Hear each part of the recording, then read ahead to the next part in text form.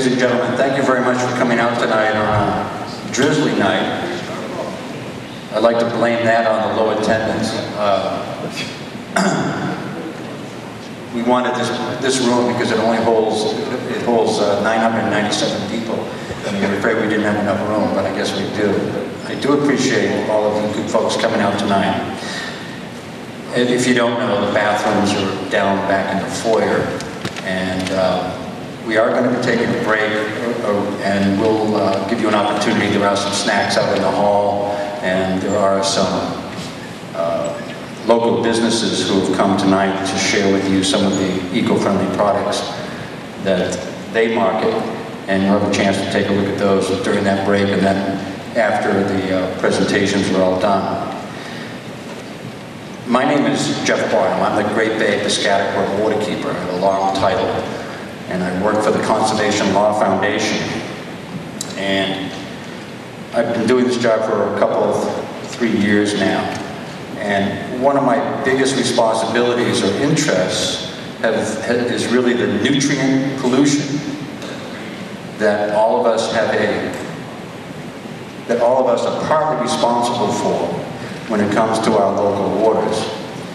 The, my focus, even though the Waterkeeper Alliance is a worldwide alliance and there may be 250 waterkeepers around the world. Each one is focused on one particular body of water. And my role is to pay attention, very close attention to that water quality.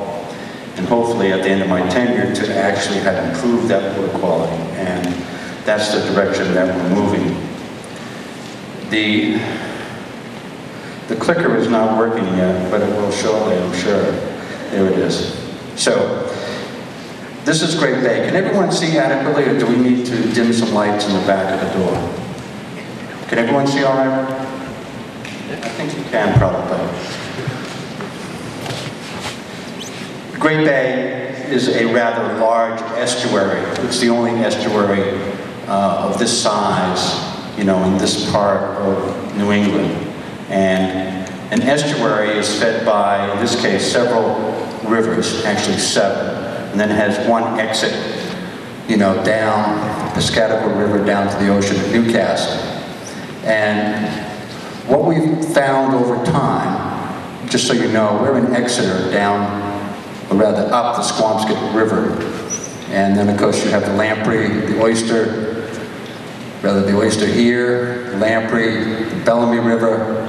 The Scataqua main stem right there is made up of the uh, Cocheco and the Salmon Falls and of course the Piscataqua runs down to the mouth. It's the bottom of the watershed for 52 towns, a large number of towns. 42 of them in, in New Hampshire and 10 are in Maine. is 400,000 people. The ecosystem is driven by this. It doesn't look very exciting. It's eelgrass. Eelgrass is not marsh grass. It's not the marsh grass you see along an estuary. It is underneath the water. It's a flowering plant. And it grows anywhere from just below subtidal to maybe 15 or 16 feet deep. And the reason I'm interested in eelgrass is that it's been disappearing. In the late 90s, we had 2,600 acres of it and we're down to about 16 or 1700 acres now. And I'll get to the why in a minute. Much of the eelgrass that we have left looks like this. You can see that it has nuisance seaweeds and algae that's growing in amongst it and actually suffocating these eelgrass beds. Now the eelgrass, because it's a flowering plant, it produces a great deal of oxygen. It's vital to the oxygen levels in the estuary. It's where everything lives. It's where the finfish live, it's where the lobsters live, it's where the crabs live. And that's why we're concerned about losing so much of it. When we lose eelgrass, we end up with a great deal more sedimentation and suspension. When that happens, it affects photosynthesis, which further affects the growth of eelgrass. We also get this sea lettuce that we're starting to see growing in large, expansive acreages along the shore of Great Bay. This was just north of the Discovery Center last year. And uh, I'm amazed at how quickly this is starting to uh, impede on the flats. And sea lettuce grows under high nitrogen conditions. And this you can see is a macroalgae growth in the Winnicut River. And it's all about excessive nutrients. Now, this map is very similar to that first geographic map you saw, but if you look at just the cross-hatching areas here, all along the shores and all along the main stem of the river, these were the eelgrass beds which have disappeared since 1996. If you were at Adams Point here in Durham, you'd be hard pressed to find any eelgrass left in the Little Bay or Upper Little Bay or the Piscataqua River all the way down to the shipyard. It's absolutely gone and replaced just with basically a mud flat. The eelgrass that we have left is this light green down in Great Bay proper. Again, here's Exeter up here. And that eelgrass, as I showed you, is diminished in quality and quantity. And just so you know, if you look something that is indirectly connected, and you should know it. You see the large yellow areas up here in the Oyster River, up here in the main stem, up here in the Bellamy, down in here. Oh, those were the historical oyster beds. We used to have 1,100 acres of oyster beds in Great Bay around 1993. Today, out of those 1,100 acres, all we have left is 50 acres. And you'll see that these red areas here off of Nanny's Island, here off of uh, Jackson Labs, up here in the Oyster. 50 acres out of 1,100 acres in a very short period of time. So where do the excessive nitrogen, where do the excessive nutrients come from? Now, you see this piece of the pie that's missing? Obviously, you can't see it if it's missing, but you can see this third of the pie right here. This third of the pie, which is almost 400 tons, is nitrogen that's been coming from sewage treatment plants. In the Great Bay, in the Great Bay watershed, there were 18 sewage treatment plants. Some of them are a lot larger than others. And it's only been recently in the last year that we've seen some real significant progress on wastewater treatment plants. A lot of money is being spent in a lot of different places, including Exeter, to build new wastewater treatment plants under the direction of the EPA with new permits to dramatically reduce nitrogen. Exeter is going to have a new plant by the end of 2018. Newmarket is building today. They'll have to be done by the 2017.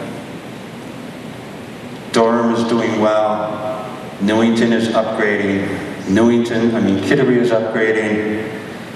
Dover and Rochester, both large communities, have already made dramatic cuts in the nitrogen that's coming into the estuary.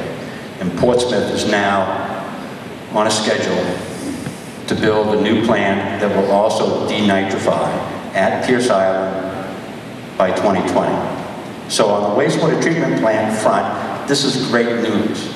We're going to see some real reductions in the tonnage coming out of those sewage plants. But the piece of the pie that's left is really two-thirds of the total. When you take that two-thirds and you take it over here to see it as a whole, this is where the nitrogen is coming from. And nitrogen, it's the weight of evidence that the EPA uses to say this particular wastewater treatment plant has to be reduced by X amount. That weight of evidence, not everyone agrees that the issue is nitrogen, sort of like climate change and climate change deniers. But the bulk of the evidence, the weight of the evidence is that nitrogen is the issue in salt water. So where does it come from? Well, this is 27% piece that comes from single family home sewage, uh, sewage treatment, your septic tank and your field.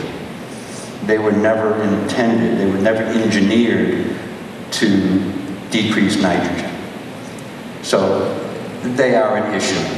But I look at this pie and I say, well, where are, where's the low-hanging fruit? What is it that you and I can actually do to augment the progress being made by wastewater treatment facilities in reducing nitrogen? And it, it's certainly with animal waste, we can do a better job with pet waste. I doubt that we're going to see much change over here on atmospheric deposition. You know, some of this is you and I driving here tonight. The bigger chunk of it right here, that's actually nitrogen that's coming to us, coming out of the air, out of the rain and the snow from upwind. It's uh, coal-fired electric generation plants in the Ohio River Valley, for example. Some change there, but it's happening slowly. The low-hanging fruit is this piece right here. It's the chemical fertilizer piece. We're talking somewhere between 200 and 260 tons. It's a huge amount. And what we know is that not a lot of this nitrogen is coming from agriculture. It's not coming from the farm down the road. It's also not coming, generally speaking, from golf courses, though it may locally. All of it, not all of it, but most of it is coming from your front yard, my front yard, your backyard, my backyard. It's the athletic fields at the high school. It's uh, any place that we have turf. Oftentimes, not always, but oftentimes, people are using nitrogen fertilizers in the wrong way and they're not doing the work that they need to do, that we all need to do to make sure that we're not putting it down unnecessarily or we're putting down the wrong type. You don't need to. This is a, here's an example. I hope no one in this room happens to live at this residence. it's on Great Bay. It's, it's a residence that stripped the entire buffer area off between the lawn and Great Bay itself. Not only was it illegal, but you can clearly see that the grass is fairly uh, similar throughout. It's obviously being fertilized throughout, and they shouldn't be doing that. And here's an example of sort of the same thing. You know, there's uh, obviously whoever fertilized this to get this color green grass is fertilizing the whole thing. And it's just going right into the ditch. It's going directly into the Winnicut River. It's going directly into Great Bay.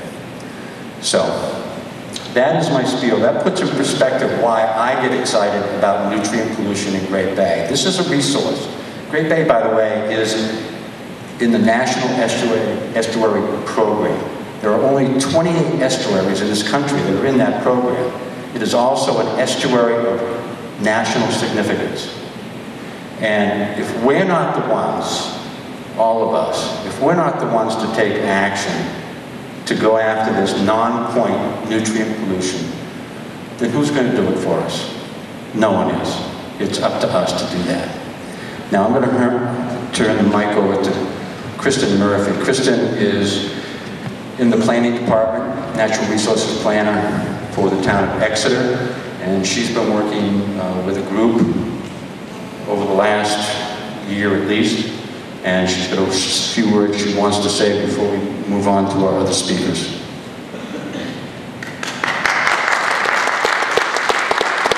So thank you, Jeff. Hello, everyone. As Jeff said, I'm Kristen Murphy. I'm the Natural Resource Planner for the town of Exeter. And I'm not here to talk about specifically my work alone. Um, what I want to do is highlight a committee that we have in town.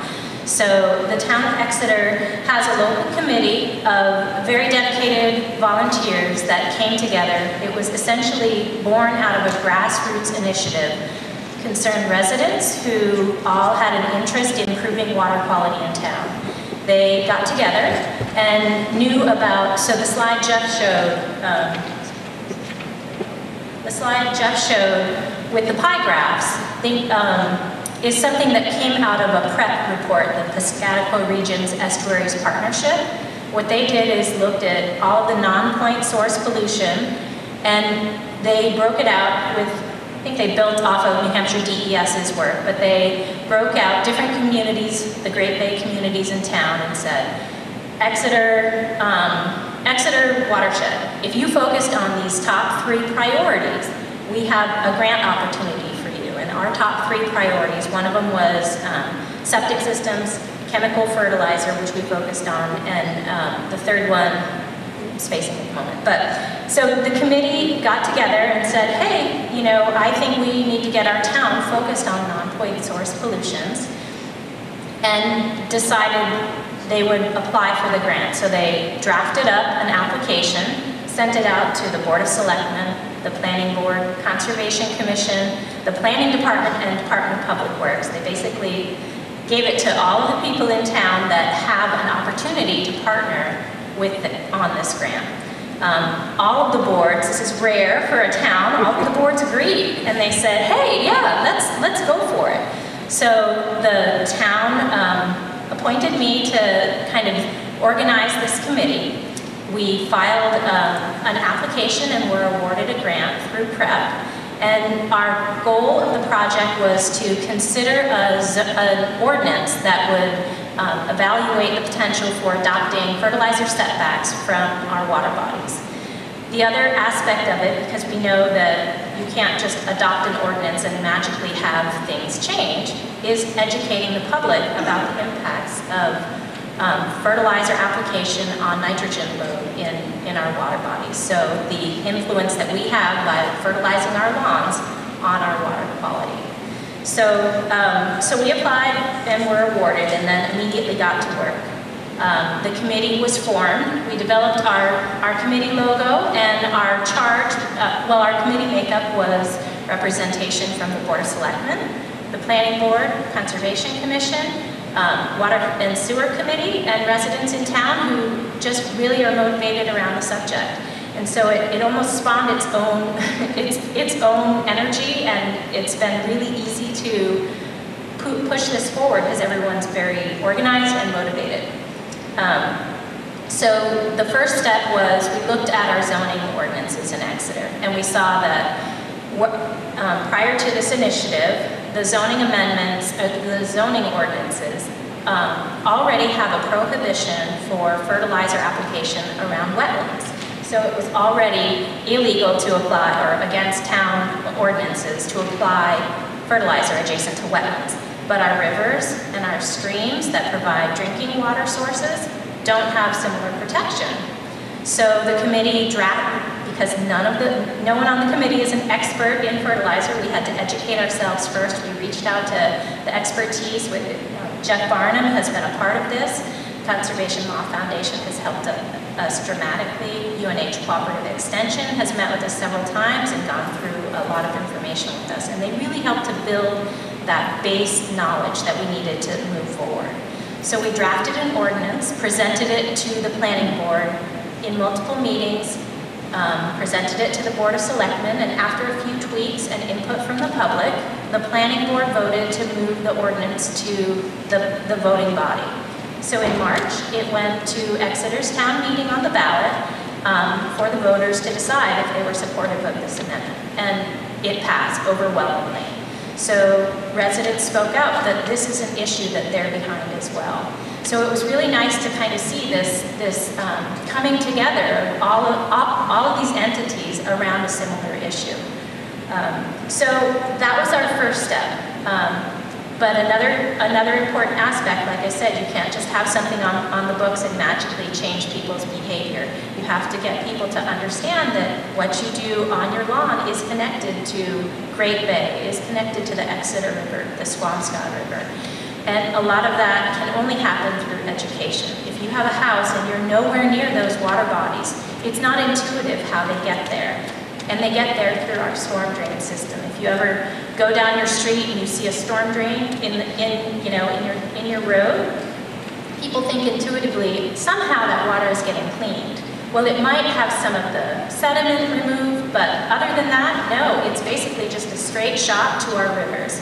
So water flows in during high rain events across our lawns, picks up material, takes it into the storm drain, and it's a straight shot to our rivers, streams, or wetlands. So, um, so the committee started working on an education program.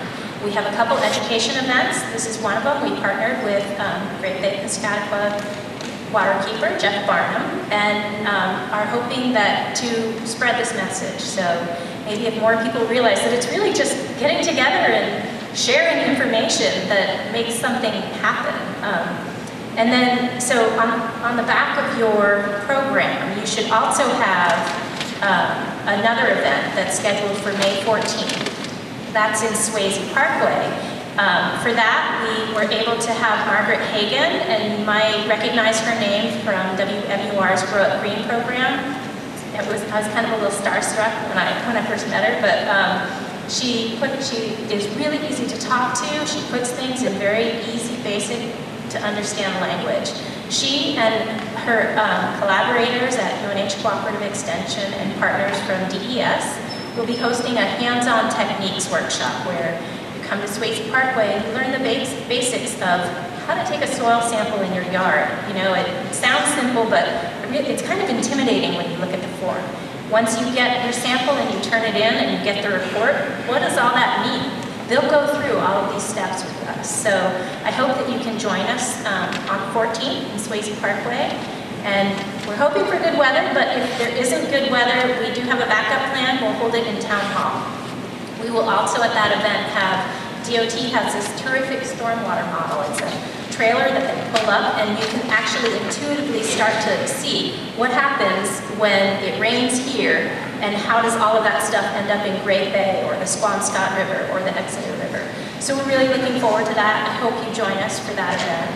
Um, we're also having, we have a website that's, that's been developed um, and we're trying to spread the word. We would, what we're trying to do is spread the word on this initiative and get residents, businesses, if you're a lawn care business, to pledge to encourage, you know, a simple set of steps, and we have magnets printed up. It's five steps. I won't go through them because I don't have time. Um, but to follow those simple steps and spread the word, pledge, and we'll give you a sticker and a little sign for your lawn. So, um, so really today I hope what you take from my very brief bit is, you know, this doing, do, making a change and committing to make a difference really is it, it, just takes people who are interested and willing and motivated, and by capitalizing on people in your in your own neighborhoods, you know, we, we can make we can make a difference.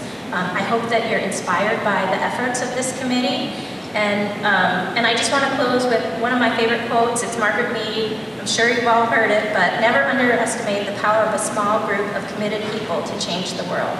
And I really believe that, and I commend the efforts of this committee, and I hope that if you're an Exeter resident or you do business in Exeter, that you'll take a pledge with us. Thanks.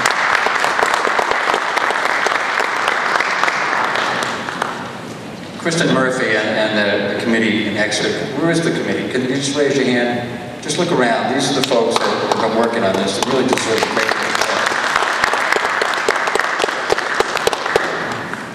Now, you can't talk about fertilizers and divorce them from the most common fertilizers are obviously connected to insecticides and pesticides.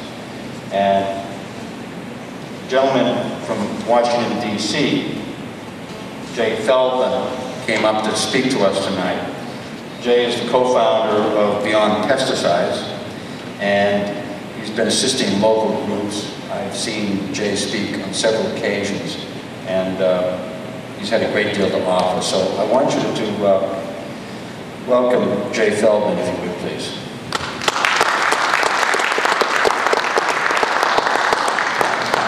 Thanks for coming out on such a beautiful evening. Uh, okay, well, it sounds like a lot's going on in town here, and um, I will try to put this pesticide issue in perspective to other actions uh, that you are considering or looking at in terms of environmental protection, because they're all interwoven and interlinked. We, Beyond Pesticides was founded 35 years ago by an eclectic group of people that were concerned about our dependency on toxic chemicals in the community uh, in our food production system, uh, in different aspects of our lives, uh, even for public health uh, management of insect-borne diseases. And our, our goal as an organization really is to identify management practices that are not reliant on toxic substances. But before you can do that, you really need to understand, well, what are the deficiencies in the way in which uh, government and the private sector re uh, regulates itself, or government regulates those who produce those products that we buy on a daily basis. Common household products that we use in our gardens, um, or we use uh, in our homes as cleaning agents.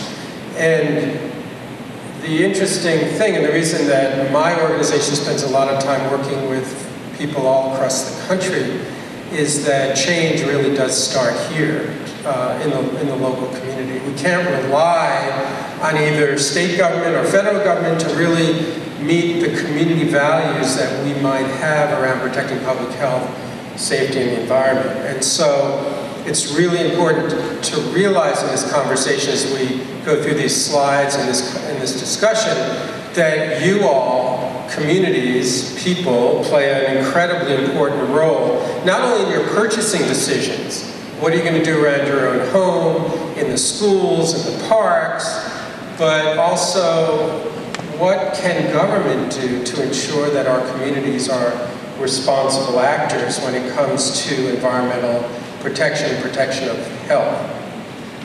We take a lot of guidance from our work, uh, in our work, from uh, Rachel Carson Silent Spring. Many of you may have read her book, um, Silent Spring. And this is, this really 53rd anniversary um, really provides guiding principles for any community that sits down and really looks at these issues. Um, there are core values in this book that are rooted in scientific understanding of biological systems that are central to sustainability. We hear the word sustainability a lot these days, um, and we're going to get into what exactly that means in terms of actual um, restrictions and allowances of chemicals. So, the most important point of this slide is complex biological systems. Often we ignore complex biological systems, and Rachel Carson said, by their very nature, chemical controls are self-defeating, for they have been devised and applied without taking into account the complex biological systems against which they have been blindly hurled. We're going to be talking a little bit tonight about soil, soil management, um, and then at the same time she recognized the importance of biological systems and what they mean, uh, if we want to have a turf system, a green lawn, a playing field, we have to understand the biological systems that we're working with to ensure that. And being ahead of her time as she was, was as a marine biologist who worked for, for the Fish and Wildlife Service, uh, Rachel Carson said, to assume that we must resign ourselves to turning our waterways into rivers of death is to follow the counsel of despair and defeatism we must make wider use of alternative methods. So even back in the 60s, I think scientists were aware of the alternative methods, and, and basically that's what we're talking about here tonight. So Ms. Carson gave us a lifelong guide to understanding the effects of chemical intensive practices, uh, but most importantly, she gives us a framework for moving off the chemical treadmill of increasing chemical dependency. And the way she does this, going back to her concept of complex biological systems or communities, um, picking up on that theme, this book called Teeming with Microbes really sort of hits the nail on the head. And they talk about us as gardeners. Smart gardeners know that soil is anything but an inert substance. Healthy soil is teeming with life, not just earthworms and insects, but a staggering multitude of bacteria, fungi, these are beneficial bacteria, fungi, and other microorganisms. When we use chemical fertilizers, we injure the microbial life. We can garden in a way that strengthens the soil food web, which is this complex world of soil-dwelling organisms. So what's in a pesticide? You know, you hear this word a lot, um, and in fact, what we're talking about when we, when we buy a pesticide is really um, a, a formulation of different materials. The first part of that formulation is the active ingredient. You've heard of Roundup. So the active ingredient of Roundup is glyphosate. And that is not the only product or ingredient in that formulation, because obviously it comes in a, a jug as a liquid. So the liquid in which it is mixed is referred to as the inert ingredient. We think of the word inert as being um, innocuous, but in fact inert can be biologically and chemically active and sometimes more active than the toxic or more toxic than, than the active ingredient. And then chemicals have contaminants in them, uh, such as uh, DDT is actually contaminated in one material, um, and there are dioxins and benzenes and all kinds of toxic impurities. And then chemicals break down as a result of oxidation, exposure to, to the air, exposure to sunlight, and even microbial activities.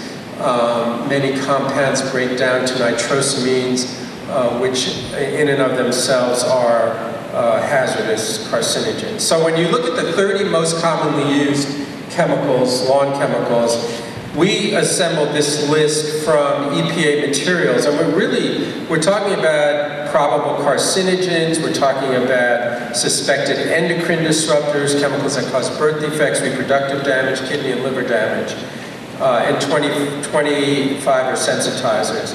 Same thing when we're talking about environmental impacts, groundwater contaminants, toxic to bees and birds, toxic to fish and aquatic organisms. Um, and we're also seeing environmental impacts on aquatic microorganisms and plants and amphibians and fish. We're seeing a lot of intersex species now as a result of endocrine disruptors getting into our water supply. So we see frog deformities that have been linked to pesticides, including atrazine, glyphosate, and other herbicides. And you've probably heard of the impact on butterflies and bees of what we call systemic pesticides. These are chemicals that are literally put into the seed of a plant and then move through the vascular system of that plant and expresses itself through the, through the uh, pollen and nectar and guttation, those little droplets on the plant. So think about it. I mean, it's sort of like inoculating every plant that's in our garden, and insects come along, uh, bees and butterflies and birds come along, and they then feed on the plant and are inadvertently poisoned. We can talk about how we got to that stage. But in reality, this is part of the complexity of the biological system. Obviously, if you put a chemical out there, there are all kinds of ramifications in terms of impacts, unintended impacts, what we call non-target effects. They're not the effect you're trying to achieve in controlling that target pest, but they're, because the, that pest is part of an ecological web and interaction with other insects and organisms, we're inadvertently attacking the non-target pest. So that's one complexity, but there are a lot of other complexities out there. There's the complexity of mixtures. We all know we don't use one material or ingredient in our garden, we're using a number of products. We, when we eat a food commodity, we are ingesting a mixture of chemicals that are deemed to be acceptable residues on our food. We don't test for synergistic effects, meaning obviously if two chemicals are mixed together, you can cause a greater effect than either of those individual chemicals alone. This is something we tried to do years ago. In fact, uh, EPA had a program with FDA to look at the interaction between uh, pharmaceuticals and pesticides, uh, especially organophosphates, and found that there were elevated risk factors if, we, if someone was on medication then exposed to a garden chemical, but that program was stopped. Um, we're not fully testing for inert ingredients, as I said earlier. Endocrine disruption, we still do not have in the US a program for evaluating endocrine disruptors. We're working on the protocol to do that. And the interesting thing about endocrine disruptors is that it, it, they defy the basic toxicological principle which you've heard about, the dose makes the poison and you think about toxic chemicals, oh yeah, I understand that's a toxic chemical, but I'm really only using a small amount of that chemical. But with endocrine disruptors, it's not that straight line, increased exposure, higher toxicity. It's an inverse dose response curve because you can have impacts at extremely low doses depending on the critical window of vulnerability during spurts of growth. So we're talking about during fetal development, during developmental phases of life, while the body is growing and reproducing its cells quickly, an endocrine disruptor, can have dramatic adverse impacts on organ system development and adverse impacts later in life. So in fact, you might test your blood tissue or your tissue or you might take some type of test for evaluating the residues in your body and you might not find a residue that actually had an effect years prior during developmental phases of life which caused an, adverse health outcome. We assume 100% compliance with the label.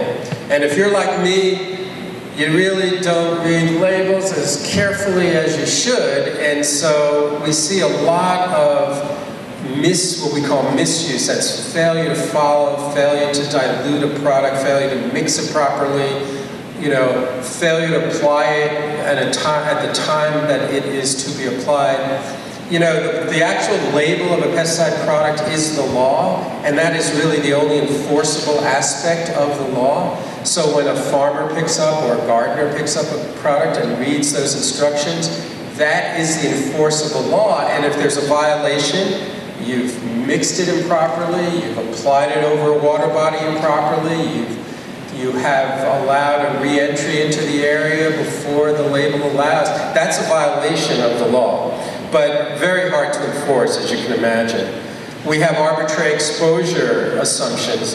Um, this is a lecture that could go on all day, so I'm not going to go into all the details. The whole point of this slide is to suggest that we really don't know as much as we should, given the toxic nature of the chemicals we're talking about. These are the only chemicals that are expressly put in the environment, purposefully put into the environment to kill. That is their purpose. They are sides, and yet we don't have all the information we really should from a scientific perspective, and therefore we're left with a whole bunch of uncertainties. Now, built into our federal statute, and you have to understand, that pesticide you see in your hardware store, that pesticide has been registered with the U.S. Environmental Protection Agency. The state of New Hampshire and, and all the states then enforce the federal law. And most of the state laws, with the exception of, California and uh, a few other states, New York State, the bigger states that have a higher agricultural use of pesticides, most of them mimic the federal law. They don't adopt additional requirements or restrictions. So the federal law is essentially the state law, and this is a really awkwardly named law, as many are in Congress, called the Federal Insecticide, Fungicide, and Rodenticide Act. We refer to it as FIFRA. And just to, just to give you an idea of the difficulty in pinning down what exactly is that level of exposure that the US government and the state of New Hampshire deems acceptable for you to be exposed to, it's called an unre protecting you and me against an unreasonable adverse effect. And taking into account economic, social, environmental costs and benefits of the use of any pesticide, which equals very little protection. Now, we tried to improve upon that. That's a 1972 law. This is in 1996. We tried to improve upon that. But what came out of the legislative process, which some refer to as sausage making, um, was a reasonable certainty of no harm. Now that sounds pretty good, right? Reasonable certainty of no harm. Well, in the legislation defining what that means, we call it the report language, whoops, um, was the word negligible risk. So EPA, and then your state, develops a standard that relies on what's called negligible risk, or sometimes referred to as de minimis risk. Well, what is de minimis risk? And who is at de minimis risk? We'll get into that a little bit later. But here's where the breakdown comes. It starts with this negligible risk is based on what they call a risk assessment process. And the reason I'm going through all this level of detail is because I'm trying to make the case that there is a tremendous need for local community involvement. There is a tremendous need for parents to protect their children in product choice when they go down to the hardware store or when they go down to the food store and buy the, the weekly groceries. There is a tremendous need for school districts to question how they are managing their playing fields. There's a tremendous need for local communities to evaluate what they're doing in their park system. And these are the flaws. I mean, you could, read, you could study this for um, the next month, but there are key deficiencies, starting with the risk assessment process, what they call conditional registration, where products are literally put on the market without complete testing. Do you know that all of what they call the neonicotinoid pesticides, these are those systemic pesticides I was explaining earlier, that move through the vascular system and end up in the pollen and nectar? Do you know that all those chemicals were registered under conditional registration where EPA did not have any field studies of impacts on bees? That was a condition that was established at the time of registration saying, we don't think there'll be a problem, we'll collect that data, data later. There was another chemical Imprelis uh, that made national news headlines uh, about almost two years ago now that was put on the market and was killing evergreen trees because EPA said we'll collect that data later and found that in fact the data was critical to an adverse health impact. Lack of, of efficacy. Does the chemical really do what it is intended today, next year, and the year after? Big topic of discussion. And then inadequate enforcement I mentioned, and all kinds of other exemptions around emergencies. So I'm not going to go through this in much detail, but the bottom line here, folks, is that when we talk about risk, you know, we think of risk, you know, we go out every day and we, we, we have risks in our lives. We drive cars, we, we uh, get involved in extreme sports, we cross the street, whatever. But here is a risk that has such a high degree of uncertainty. The real question is, is it really a risk that is worth it? In other words, are the benefits that we're deriving from these risks acceptable? And what do those risks mean to me? I may have a pre-existing condition. I may be a cancer survivor. I may have a neurological deficit. I may be, as I am, aging, and therefore my immune system and my neurological system is not what it was when I was younger and healthier. So I am much more vulnerable to exposure to a neurotoxic chemical and a, a chemical that's immune suppressing.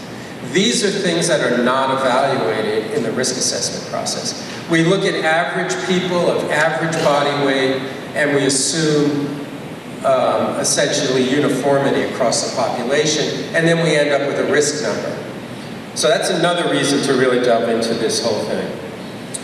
Okay, so we, we tried to step back from all this and say, well, what's really going on in the scientific literature? Here's all, you know, you've been talking to me about policy and risk calculation all this, but what's really going on? What are we seeing out there in the population? And we decided several years ago to set up a database called Pesticide-Induced Diseases Database, where we looked at the public health outcomes of chemicals, and we tracked all the science on pesticides in Parkinson's, pesticides in uh, diabetes, pesticides and neurological reproductive diseases. And now we have, as of a few weeks ago, 760 studies you can get on our database and look at this extraordinary database that connect these chemicals to diseases we're experiencing in our families. I mean, direct, cor direct correlations.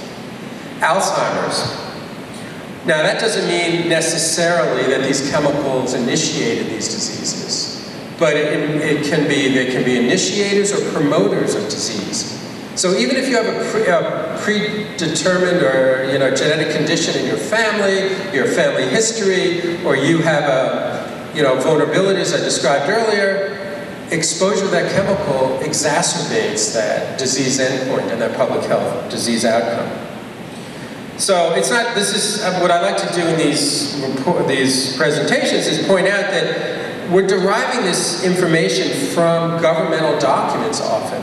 They just, they're buried, you know, they're sort of, they spend all this money, produce a report, it might make a little headline somewhere, but this is the U.S. Geological Survey saying, not doing a really good job of looking at mixtures.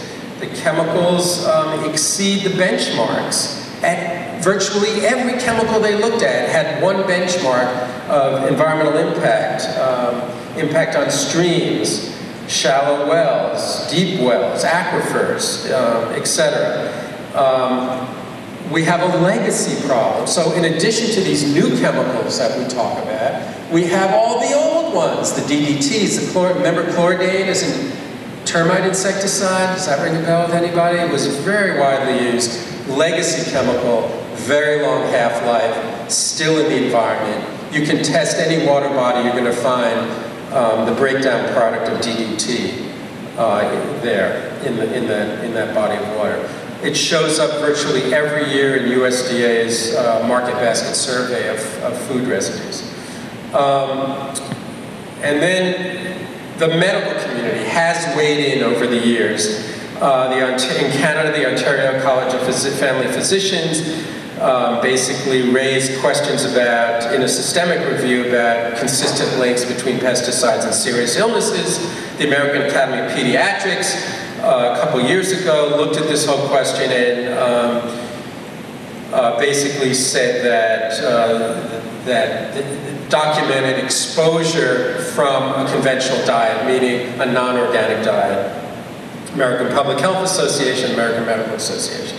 Now, meanwhile, we also look at the international arena, what's going on around the world, and you can see by looking at the European Union that we're just not moving fast enough in this country. Yet another reason for a local community like Exeter to get involved in this issue and the whole region, because look on glyphosate alone, the International Agency for Research on Cancer last year found, this is the World Health Organization, that Roundup, you've all heard of Roundup, it's the most widely used herbicide in the country um, that, that this chemical uh, was a probable human, or is a probable human carcinogen. And yet, it's going to probably take years until we see this chemical being removed from the market. Uh, neonicotinoids also, the ones that are in the, the, the uh, pollen and the nectar, that chemical has been banned in the European Union, or suspended. So we're behind the curve when it comes to, and one of the reasons we're behind the curve is because we don't operate in this country under the basic precautionary principle, which is the way I raised my kids, and I'm sure you did too. You basically said, you know, wear a helmet, wear your seatbelt, before it was a requirement of law, because you said, you know, we're hedging our bets here, we want to protect you, we're going to be precautionary as a parent, we're going to take precaution.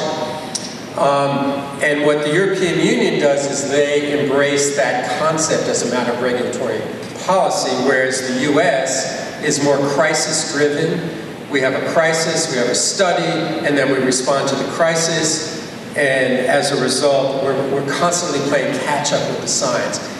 The biggest problem I see in all of this is we ignore those uncertainties. And the, what we do is, with pesticides, check this out, we add to every pesticide calculation, these are scientific calculations based on assumptions that have deficiencies, whatever, we add a tenfold extra margin of safety.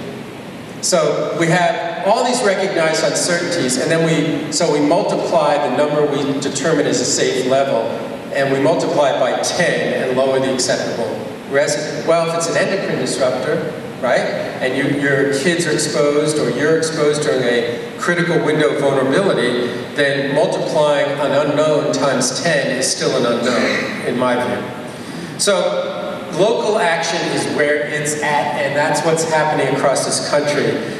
And it was, things were moving so quickly that the chemical industry moved in to virtually every state legislature. The Supreme Court upheld the right of local communities to adopt ordinances that were more restrictive than your state law went to, went to every state and in 43 states was able to get the state legislature to preempt your authority.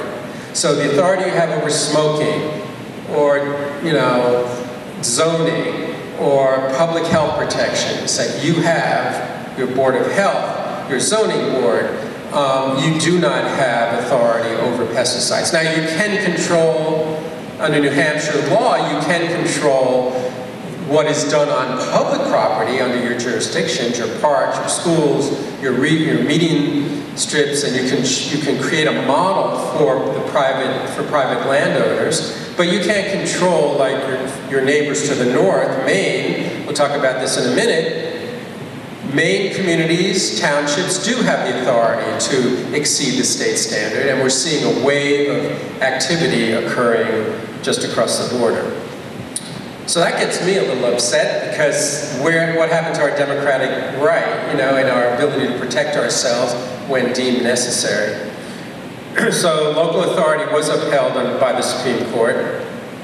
We've evaluated uh, the types of preemption, but the bottom line is um, it, it's a very difficult situation in the 43 states, including New Hampshire.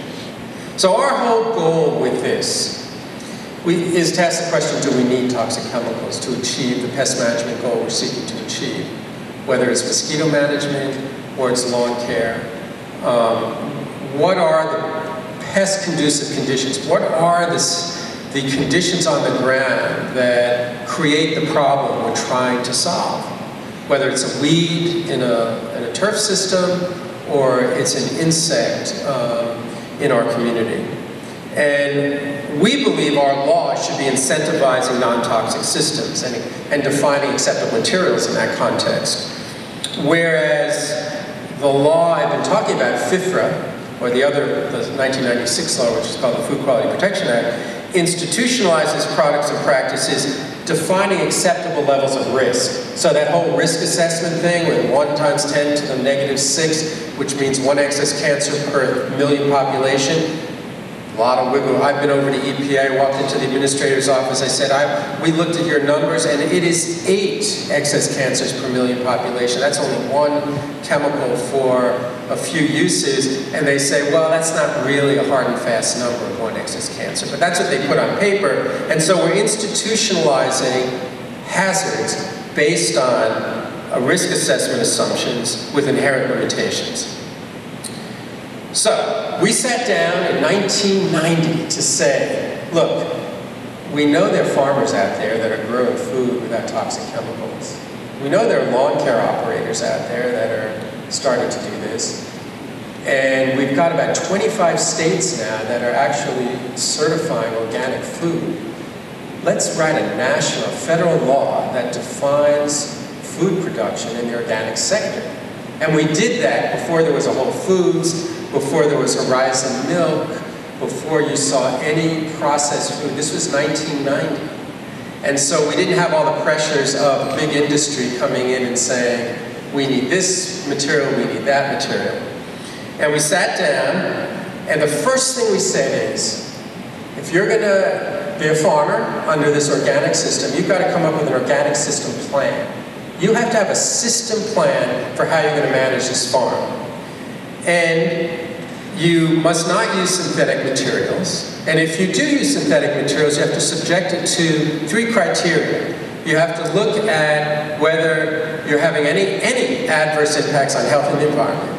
You have to look at whether you are compatible with that system. And that system must take into account biodiversity. It must take into account the complex biological system that Rachel Carson talked about. Because it was known to every organic farmer that you did not have an organic farm unless you had that complex biological system working and contributing, producing nitrogen, nutrients, cycling nutrients, and doing all the things we wanted to do.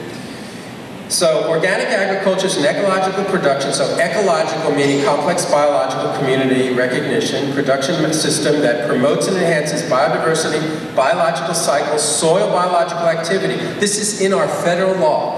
It is based on minimal use of off-farm inputs and our management practices that restore, maintain, restore, maintain, and enhance.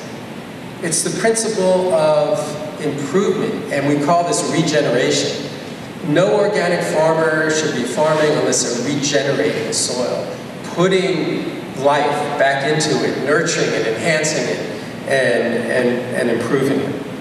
So this is what you get from a 35-year longitudinal study at the Rodale Institute where they maintain two fields and have done it for 30 years, one chemical intensive on the left and one on the right. And what do you see? You see all kinds of things in here. You see biological activity. You know what else you see in here? You see carbon.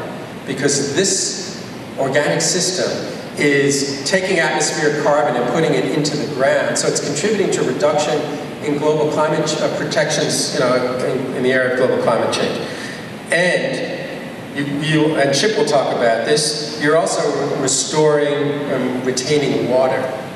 You're creating a system here that holds the water, holds the material in place, um, nurtures the biological activity in the soil. And that's why it's this color. But Chip is the expert on this. So here, I, I did an unannounced audit on Chip's playing field in Marblehead, Massachusetts. Chip Osborne from Osborne Organics, who will be speaking next. And this is just to show you, he has a lot more uh, descriptive slides, but to show you that we can meet our expectations with these organic systems. And that the same principles that are in our federal law on organic food production, and certified by the way, organic is real, the label actually does mean something on their food products, um, and these systems produce a playing field that oftentimes looks better than a chemical intensive field, is more resilient, requires less water, and requires less expensive off-farm inputs, including fertilizers, which is the big thing here, eliminates that input over time, so you're actually producing that naturally. And Chip will get into the whole difference between soluble and insoluble material and what that means to water runoff and water effect and development of soil health. So we're an advocacy organization beyond pesticides as well as a scientific information agency. We believe everything we're doing is science. It is science-based, but we advocate for improved protections. We utilize and advocate for local authority. We urge you to engage, as it sounds like you are on this. We want better enforcement. We still want the New Hampshire Department of Ag out there enforcing against labeling violations. We want to see better reporting. We want Congress more involved in this and we want to advocate, and we advocate for organic practices, policies, and protect organic standards. But the last part of this talk will be focused on how local communities are evolving and having this kind of conversation we're having tonight and then taking it to the policy arena. So what I want to do is share with you just a sampling of that discussion and how it's going. So Greenwich, Connecticut, where Chip does a lot of work, the town adopted an ordinance that basically said the town of Greenwich, absent any of the exceptions to, sorry for the typo, to the general rule set forth below, shall not use any pesticides or herbicides.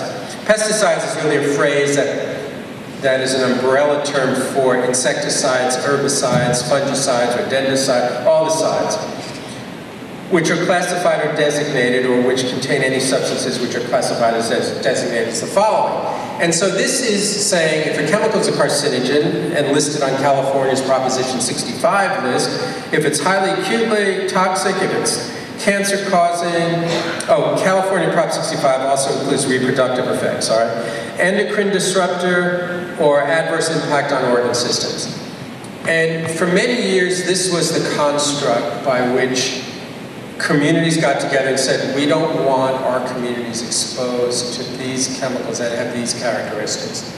And they set out to design a program of management, of land management, that incorporated this as a value, as an ethic. This is a, a community value.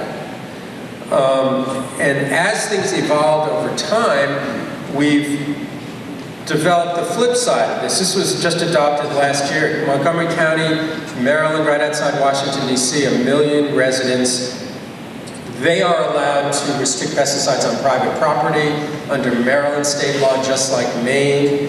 And they, they chose to flip the coin on this and go on the, the other way, mimicking the Organic Foods Production Act by developing a positive list of allowed materials. And this seems to be where things are at. So this, they created a law said our community value is to align our land management programs with organic systems that only utilize organic compatible materials.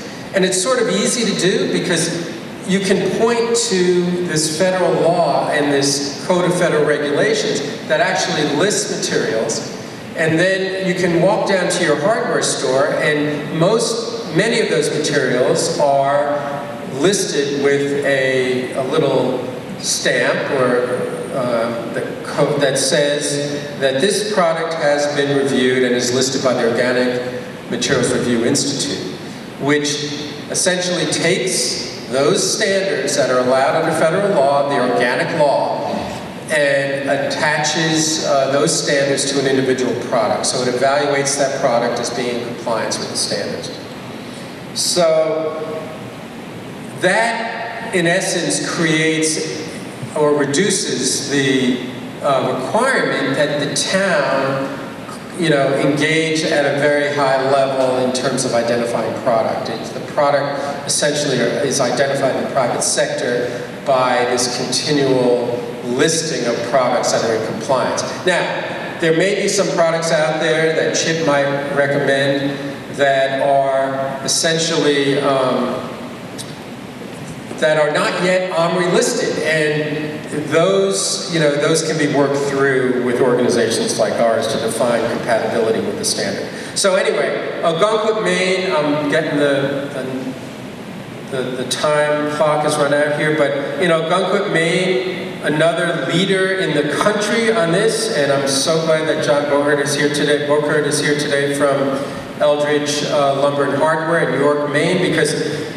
that hardware store and his boss, Scott Eldridge, and John played, it, played an instrumental role in educating the community that, yes, we could function as a business, as a community, with the value that we don't want to indiscriminately uh, poison wildlife and people.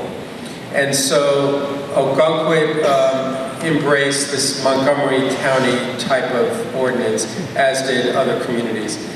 Uh, this is just to show you that they're up the coast, there are numerous communities, and even in the Midwest, that have embraced this concept that yes, our community believes uh, that we want to embrace a precautionary principle, we want to follow the scientific understanding, and we believe we can manage our land systems without poisoning uh, the environment, water, and people.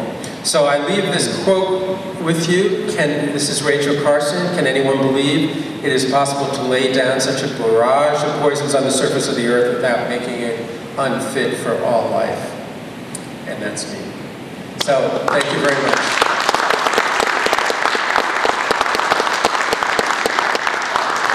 Okay, thank you very much for that compelling presentation. We want to give the opportunity to folks uh, to ask some questions of Jay uh, before we take a break. Are there any questions out there? Yes. In those communities that have actually implemented these restrictions, does that also imply that merchants can no longer sell those and they're prohibited from selling those products? No, no. Um, well, yeah, I mean, I think what's happening is that uh, in the, first of all, a community like this, as an example, that would choose what it does on its own land, um, would be restricted by its own policy. So the policy would affirm its commitment to only purchase certain types of products. So it wouldn't be a problem in the public sector. Um, I think these laws are so new that communities are trying to figure this out but they all, at least in Montgomery County, requires a high degree of education at the site of purchase. So if you go into a hardware store in Montgomery, this will play out over the next year, there will be signage required by law that explain that XYZ products may not be used in Montgomery County.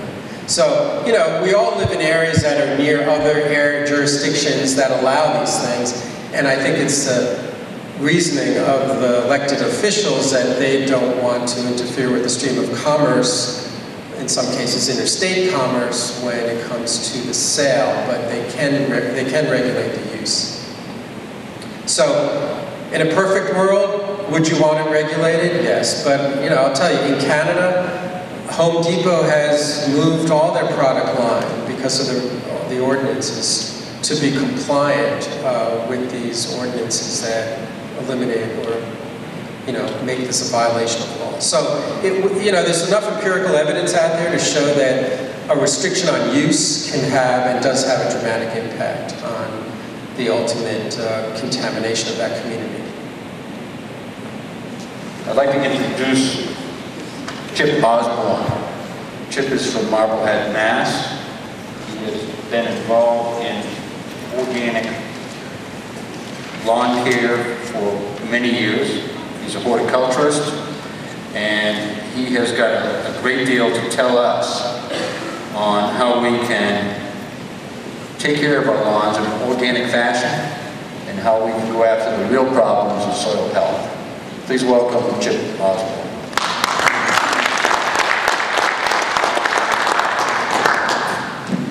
Thank you very much.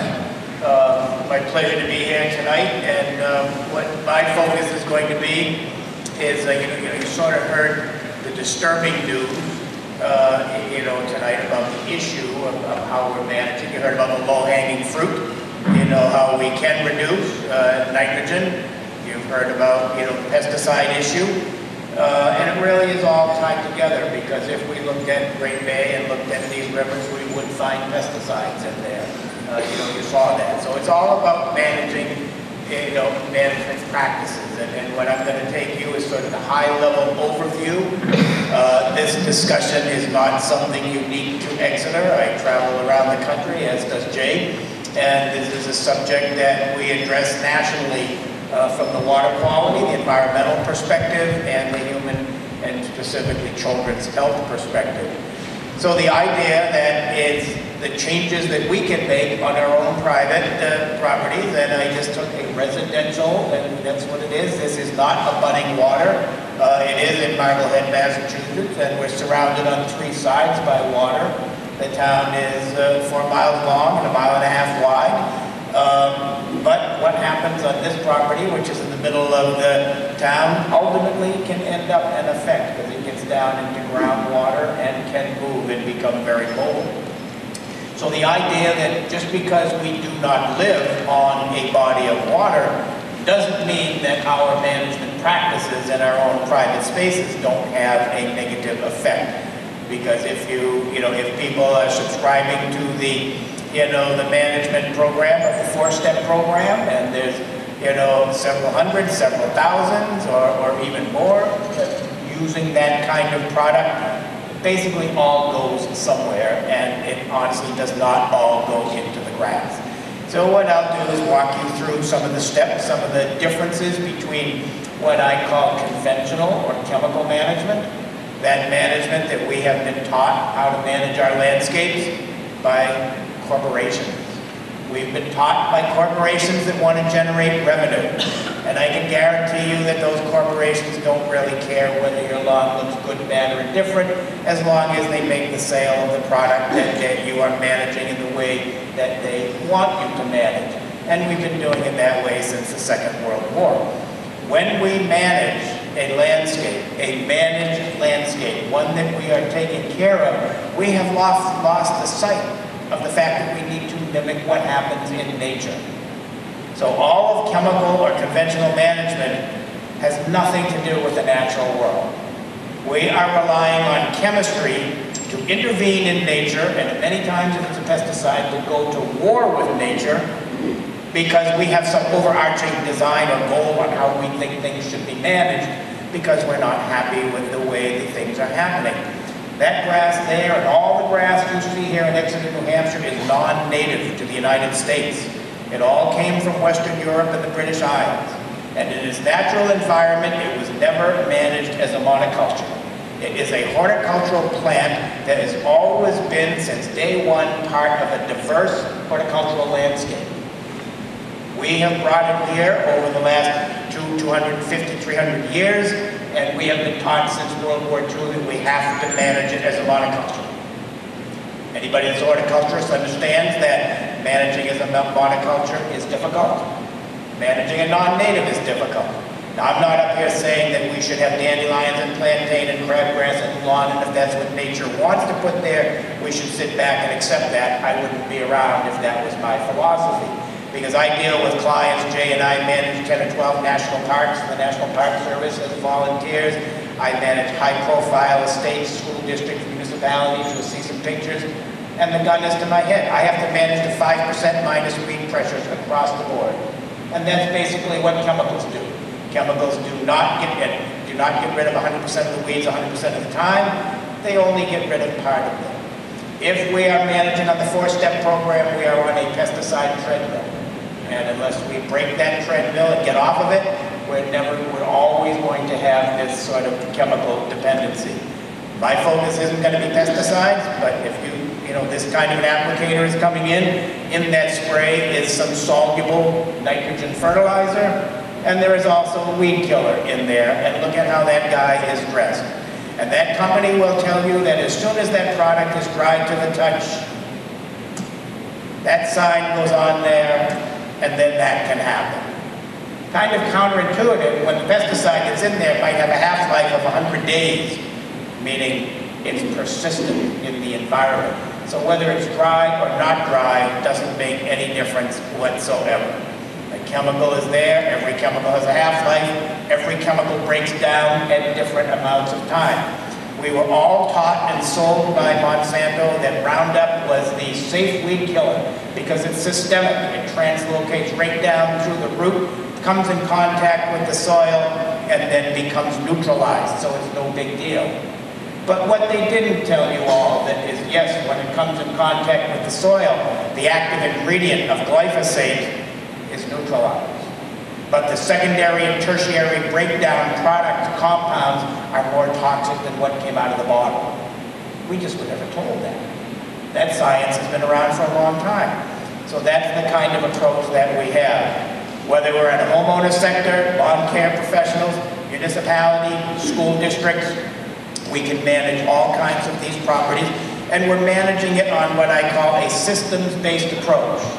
We've all been taught to manage by looking at the grass and focusing on those blades of grass, when we really should be looking at a, a system where we focus on grass, soil, and everything that's related in that. So when I get called in on a consultation to a site, the first thing I, I, I, want to know is, what do we have for soils? And we do soil testing to determine that. That's really the first step. That's where it is not really what we look at up there, it's what we actually don't see. So organic land care, organic land management, it's an adoption of a systems-based approach versus a product approach.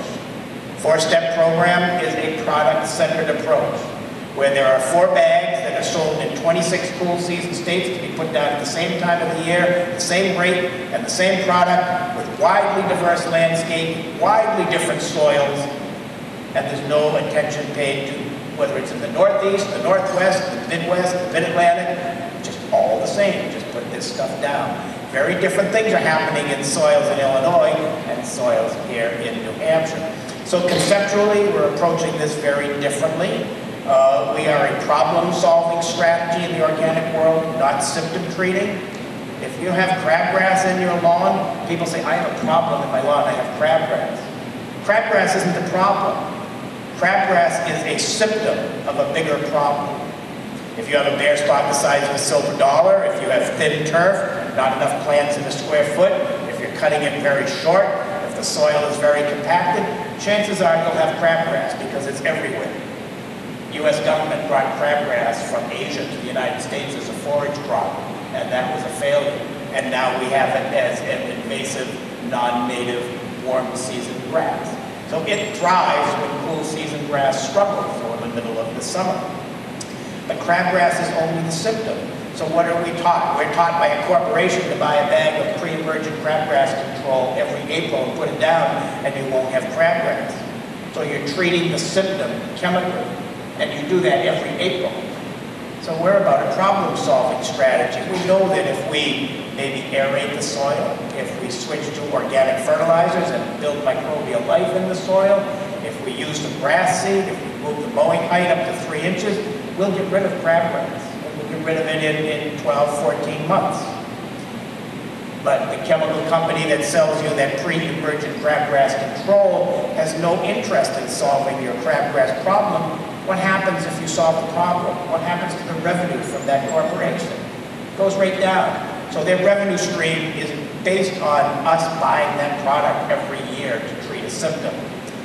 We're looking at the foundation of creating a healthy, biologically active soil, and we soil test to determine what exactly we need. Uh, you know, some people's perception of organic is I don't do anything, therefore I'm organic. When we talk about organic lawn care or natural turf management, the implication is a well-thought-out, proactive approach to management that uses natural or organic products. That being said, just because a product is natural or organic does not mean you throw caution to the wind. Organic products can cause harm. Organic products can have unintended consequences. Uh, but those organic products are not generally linked to long-term human health or environmental issues. So in that respect, they're much better, but again, we use it by caution. A good definition of organic management is simply putting a series of preventative steps in place to build a healthy biological system. These are all the reasons why, you know, we may choose to go organic, and I always end that discussion with saying, we go organic because we want the landscape to get better. And if you have the opportunity to see a healthy three, four, or five-year organically maintained turf system, you would not walk away from there and say that it doesn't look better than the chemical counterpart across the street.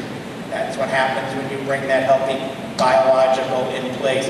As Jay said, these, here are all of the pesticides, and I can't tell you how often, uh, even at homeowner level, but even in the professional industry, I don't use any pesticides, I only use herbicides for weeds. Herbicides are very much a pesticide, so it's everybody's personal choice, uh, you know, how they come down on this pesticide 101 issue. Um, you know, it, it, the bottom line is, these are all the reasons for the discussion, so the focus here is water quality. Some folks come at it from the public health or the children's health issue. Different reasons, same goal. Uh, going green means starting locally here. Um, let me just go right through here. Here is the crux of my presentation. This is the systems-based approach, a basic understanding of soil biology. So everybody here in the room had a biology teacher in high school at some point that put up their hand and said, a handful of soil contains billions of organisms that are alive. Most of them beneficial, that nature put there to help us grow something. Four-step program and conventional management bypasses all of that because none of the biological activity or life in the soil has anything to do with the way those products work. The second part of it is the exclusive use of natural organic products, meaning if it is our desire to eliminate pesticides, we also need to eliminate those synthetic fertilizers. Synthetic water-soluble fertilizers inherently create a dependence upon pesticide control products by the way they work. So any fertilizer regulation that doesn't restrict soluble nitrogen really isn't doing its job. So a fertilizer regulation needs to address soluble versus insoluble forms of nitrogen. And then we have the cultural practices, those things that we do, the right way to water. I bet 90, 75% of homeowners that have in-ground irrigation systems are watering improperly. Grass doesn't need a lot of water. So we look at those things. We look at seeding and overseeding and irrigation, whether the soil is compacted. All of those things would be what we call a cultural practice. So a systems-based approach is the opposite of the product approach, but it's addressing each one of these three areas and bringing them together uh, to grow our lawns. The bottom line is it doesn't matter anymore whether everybody in the room agrees about whether they like synthetics or don't like synthetics. Simply put, the market nationally is changing and it's changing rapidly because people are beginning to question what they're putting down, why they're putting it down, and now the fact that we have alternatives, I don't have to stand up. Five years ago, 10 years ago, I had to argue with the chemical industry. I had to sit there and prove why I, you know, why we didn't need their pesticides. The simple thing is now, the answer is, I don't need them because we, we can grow without it. You're going to see some pictures that have had no chemicals whatsoever, and the landscape is just as good as the, or better than the one uh, that, that, that, that, has the chemicals. Jay and I manage Fort Scott in, in Kansas. It's a it's an 1840s parade ground at, at a fort, and, and we for the National Park Service. And they split the parade ground right in the middle, and they did the Scott's four-step program here, and they did the our organic program there. At the end of the three-year formal trial, the end result was they don't look any different. So they got rid of the four-step program and made it all a natural program. So World War II is where this all came from, chemical warfare research.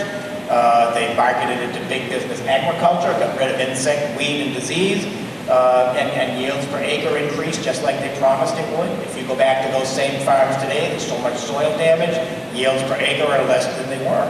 Now they moved into the residential market in the 1950s after the ag market was saturated. And the first thing they did was tell us that clover we had in our lawn is a weed.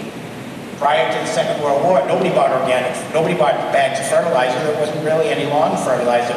White clover was part of every grass seed mix, and we recycled our grass clippings. And that's how we got all the nitrogen we needed. All of a sudden, industry came along and said, that clover's a weed. I've got a problem here. I have a product to kill the weed. And I just happen to have a bag of nitrogen over here. I'll be glad to sell you because you just lost all that nitrogen when you killed that weed. So those were marketed together. So all of that comes from, so it's only been this very short time frame where we have been taught to manage synthetically. As I said, all grasses are non-native. So if we're managing conventionally or chemically, it's synthetic fertilizers, it's chemical pesticides, it's a quick fix, product-based uh, approach that treats symptoms, doesn't solve problems. Uh, applications are generally prescribed by the calendar, many times multiple applications, many times prophylactic use of pesticides. Uh, I, I think the average homeowner is so scared of grub activity in the lawn that they're very susceptible to buying those products now that go down in June just in case, so that you don't have grub. Uh, you know, when you understand that you put a grub treatment down in June, that chemical is active for about 220 days.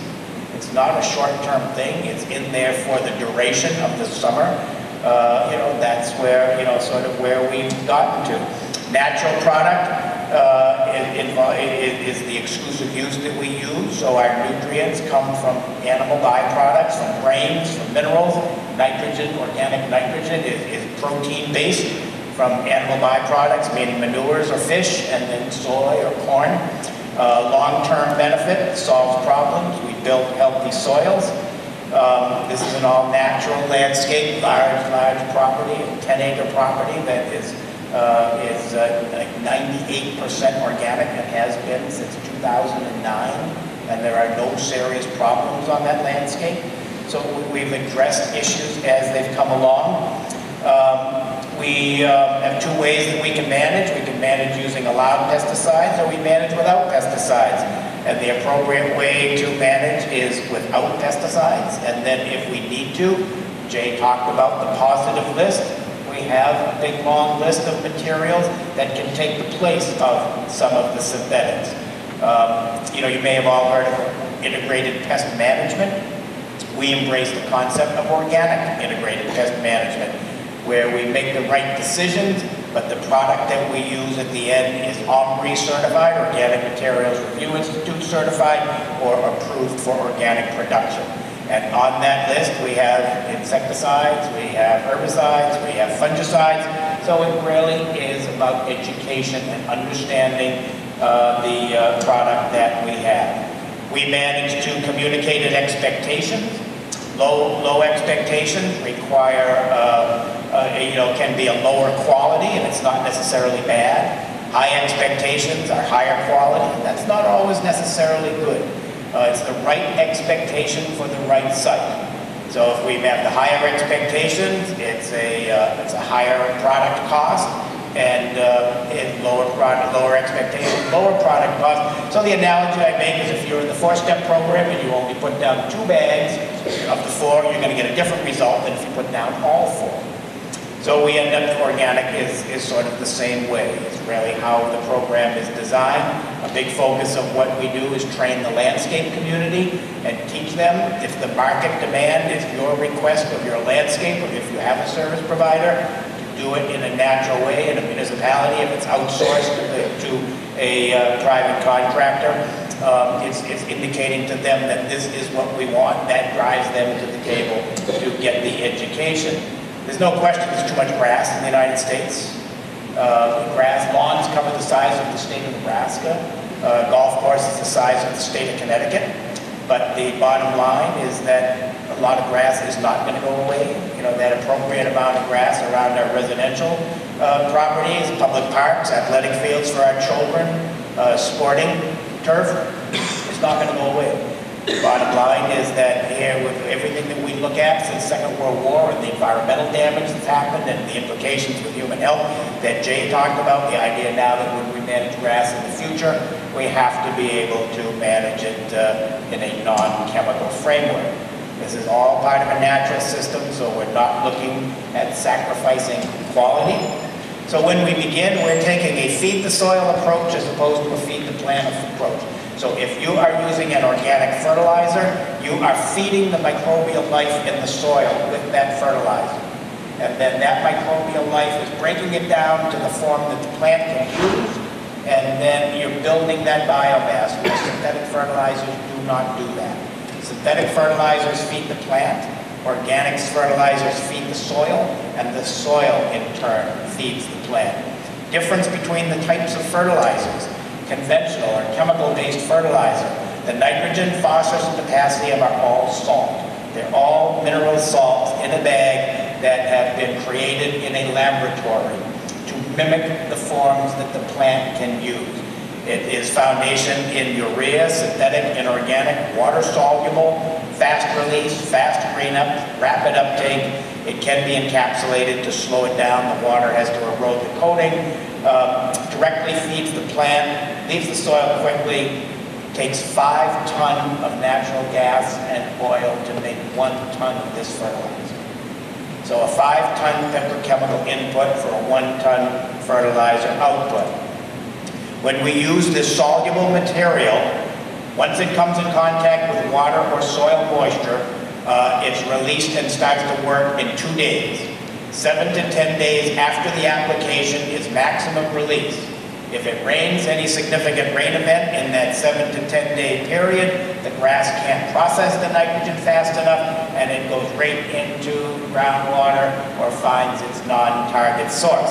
Four to six weeks after the application, it's all gone. So it's a very short-lived, quick fix type of a product. Natural organic is water insoluble nitrogen. So what happens, the nitrogen in an organic fertilizer is in the organic form, and the plant can't use that. The plant can only use inorganic nitrogen, in nitrate or ammonium. So we synthesize that in the laboratory to make it easy with the chemical base. We are now relying on the biology in the soil to make the conversion for us.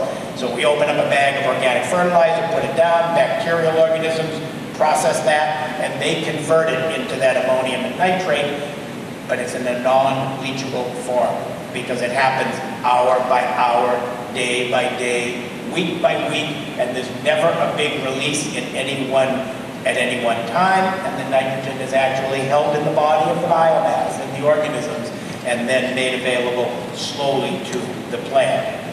When we're managing uh, grass, we- we're also coming up with the appropriate cultural practices. Uh, The cultural, uh, the cultural practices of um, mowing. The right height for an organic lawn is three inches. Uh, You know, sports fields are entirely different. Ball roll is a technical sports turf term that we use to determine how short we need to cut the grass. So if we're managing field hockey field, we're cutting it down to an inch and a half or inch and three quarters. If we're managing baseball or soccer or football, it's all the appropriate height for that sport. But three inches and sharp mower blades, recycling grass clippings, we should never be bagging and removing. You can reduce, uh, if you recycle grass clippings into your lawn, you can eliminate fertilizer application because you're putting a pound of nitrogen right back into that lawn just by cutting the grass and leaving those clippings. They will break down and decompose the saprophytic organisms uh, within 12 hours. So you're actually returning organic matter and, and recycling right back in there. Irrigation, uh, somebody's got a sprinkler in their, in their yard that the installer comes in and probably sets the time clock to run every other day or three times a week for 10 or 15 minutes a zone, when in reality it should be run twice a week for 30 or 40 minutes a zone. Deep, thorough irrigation, far more preferable to repeated shallow irrigation. Repeated shallow keeps the roots up at the surface, so then when it gets hot in July and August, the lawn is struggles. When we're go, our goal in, in natural management is to drive that root system down deep as we can, get thick, healthy turf that will choke out the most broadleaf weeds. It's amazing, when I have, I have a trial site that I'm working on now, and uh, a Kentucky bluegrass sod trial for reduction of nitrogen. And, and dandelions are blown in from the neighborhood because people don't manage lawns in this neighborhood. It's dandelions all uh, in there, but it's amazing to watch the grass choking that dandelion right out. So the grass gets so thick that it literally chokes the dandelion out because grass is a thug. And if you do it properly, it will outcompete. We aerate to relieve compaction. So, it- you know, if it's, you know, aeration can be renting an aerator at Home Depot or taking it back. You can have a landscaper do it. Exciting thing that we're working on now is biological aeration. Within a couple of years, we're gonna be able to have a concoction that you could buy, put in a little hose end sprayer, buy a hose end sprayer for twelve dollars, water the lawn and aerate, and let the microbes do the work for you. That's the kind of science that's coming behind natural lawn care. So instead of trouble, tr- struggling with a four hundred pound aerator, how cool would that be to take a little packet, put it into a hose end sprayer, water the lawn, and know that you're loosening up the soil because of active biological life. Choices and challenges for natural turf management on a large scale. Parks, athletic fields, school district properties. This is about reducing synthetic fertilizers on acres and acres of grass, like around here. I mean, even the fertilizer that's used on the school property. If we're using water-soluble fertilizer, it's not staying here, it's getting down there, and it's going off somewhere. So when we're talking about fertilizing acres and acres at a time, sustainable way to do it is with natural fertilizers. And then, you know, the other piece of the discussion is reducing and eliminating pesticides where our children play. And that's really the piece. And Jay touched on that. We're not looking at that acute exposure anymore, you know, that, that, that FIFRA talks about and risk assessment talks about. And when they laboratory test it, it's important that you know that when all these pesticides are tested, EPA is not testing much. The chemical manufacturer tests it on their own and submits their data to the EPA. And it's based on acute oral or dermal toxicity to laboratory animals. And then they watch what happens. And then they extrapolate those numbers to the human population. But they extrapolate it to be a 150 pound male, not an infant, woman, child, toddler. That's a problem. So that's why athletic field management is an issue. I showed this slide to a group of turf professionals uh, that included the National Football League, Major League Baseball, uh, all big guys. I went down to Florida, 175 chemical guys packed into the room. And uh, I showed them this slide and I said, what if you put 2,4-D down there? 2,4-D, by the way, is the mainline weed killer in the four-step program. And uh, what if you put 2,4-D and you would go out there with gloves and you would go out there with protective long clothing and you might even have a mask? And what if that was your daughter, her face in the grass and her water bottle was there two or three days after you put it down? What would your comfort level be? And they were shocked because their education had never allowed them to make that correlation in that type of management. I'll just run you through some quick pictures to show you that, you know, I can talk, I can talk for the next three hours. I could probably sit skeptical and say, well, I'm not sure this organic can really work. I've worked with Boulder since 2010. Municipal Neighborhood Park, it was only six or seven years old. Uh, cool season grass, the same as here. Uh, you can see what the before and after pictures were, all during the active growing season. This, this park was so bad, they were gonna rip it up after six years and redo it. And I said, well, no, we're, we're doing an organic program all around the city. Let's include this, Let, let's make it a challenge. Uh, very compacted, bare spots, it was anaerobic, you could smell the alcohols in there from, from no, no oxygen, it was waterlogged. It was just a very horrible situation. So there it is before management. When we tried to take a soil sample, that's all we could get. It's all thatch and root, very unhealthy system, minimal density, you see all the bare spots, a lot of weeds, big clover pressure, crabgrass pressure, and there it is after we transition and moving through, and you go and look, and there it is, the close-up, the weeds are gone. We've replaced the weeds with grass because we changed the system. We systematically use natural products and programs to change that system to be more conducive to growing grass and less susceptible to weed pressures. Another project in Colorado, lots of synthetic fertilizer, lots of chemical pesticides. They were using synthetic fertilizer right along the riverbed. And the mayor said, what's the big deal? We've been doing it 40 years, the river's still there. But it was testing toxic downstream, but it was, you know, so up here. Big, big, big pressure with synthetics is almost a year and a half after stopping pesticides, cold turkey, and just going into a thoughtful natural program that addressed soils and soil health first and foremost. 7.3 acres of high-profile sports turf, and you can't find a weed in there after a year and a half. Here's one of the fields in Marblehead that we've been working on. This was built in 2006. Marblehead has had a policy in place that's no pesticides or synthetic fertilizers on all town-owned land. It was put in place in 2001. So it was the first in the country that prohibited synthetics and mandated an organic approach. Here's a close-up. It's just grass. There are no weeds. Sports, field hockey, there's that grass chopped right down there. And again, not looking at lots of weed pressures. So sustainable lawn care is doable. It's a non-leachable way. It's protective of our waterways. We're using water insoluble nitrogen as opposed to soluble nitrogen. It is no longer cost prohibitive. You may hear that organic lawn care doesn't work. Well, you've seen the pictures, it does work. If it's cost prohibitive, you couldn't possibly afford it. We can develop programs now, and a landscaper can offer you a program that's pretty close to the chemical approach. Uh, you know, it, it, it all depends on the expectation.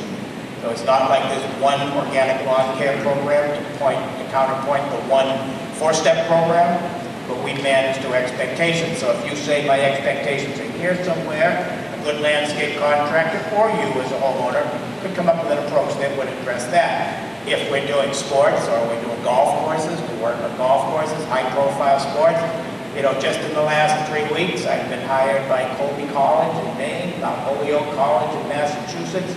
It's just, and it's all high-profile property. I have to do the grass with the president, watch the work every day.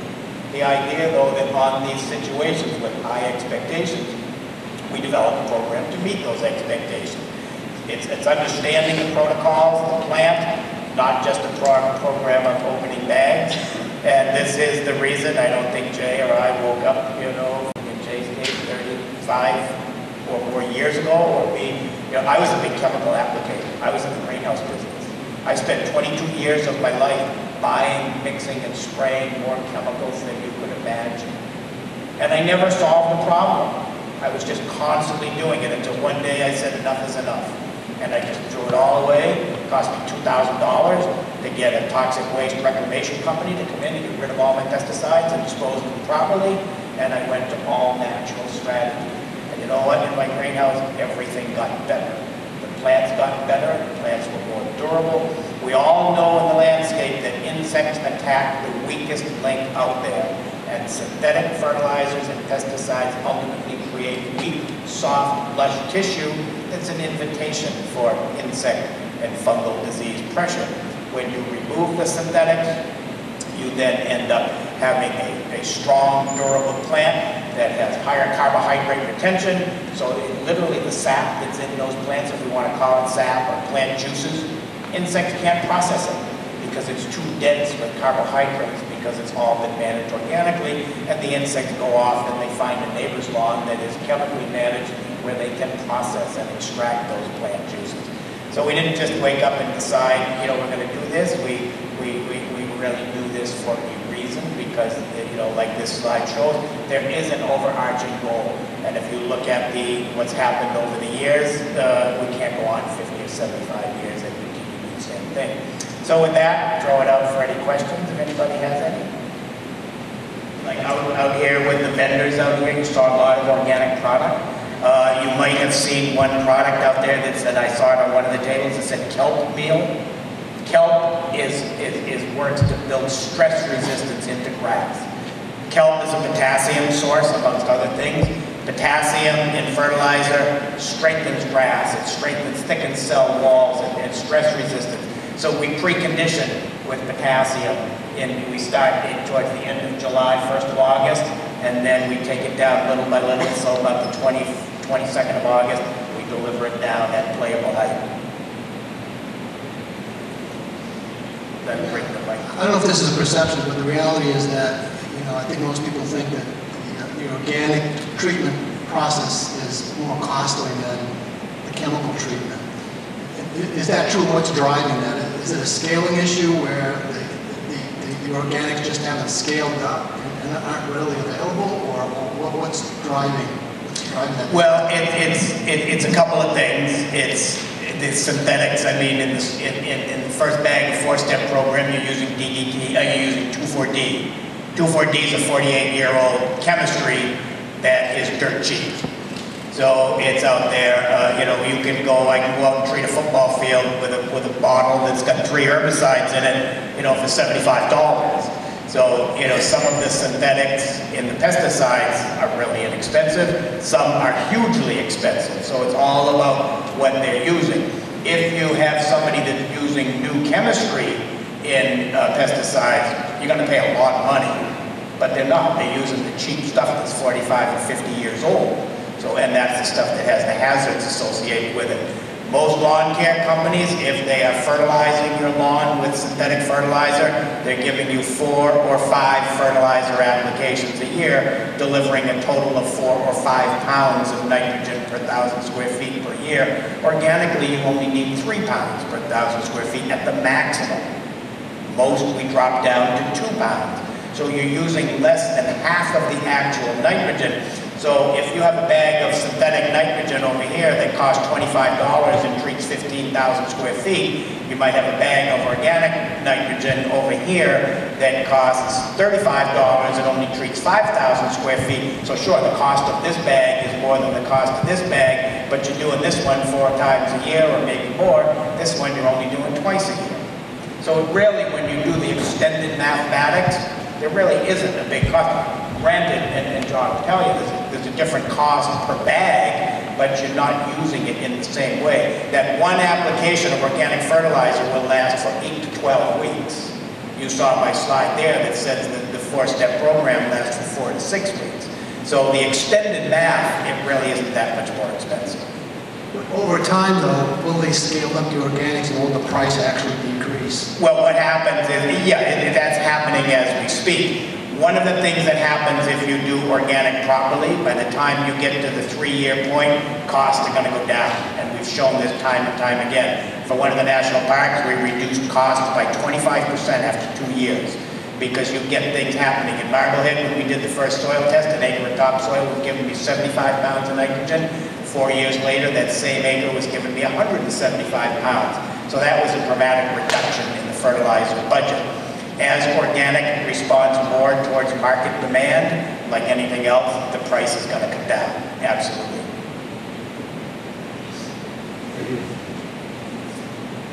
In, in compacted soils, it's recommended you do the core aeration in the fall. What would be wrong with me doing it now? Nothing at all. Anytime the grass is actively growing, uh, it's appropriate to do core aeration. Uh, if it's very compacted in the spring, when I go on the site, I tell them air aerate right away. It's that, that, it's that important. Compaction is the biggest enemy of turf grass. You can take everything else that could happen to turf grass, compaction will hurt it more than anything else. Now, there's some school of thought that says, oh, if you have a lot of crabgrass on the lawn and you pull up a plug in the spring, you're gonna put crabgrass seed up there to germinate. So it will not germinate if you have good turf density. So the idea that if you do a spring aeration, you throw down some grass seed at the same time. You might pull up a little bit of crabgrass in year one, but by year two, it'll be all gone.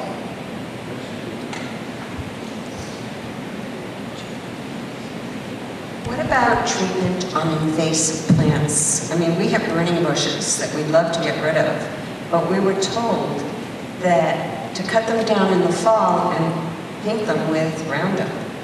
And we hesitate to do that. Is there a better way to do it?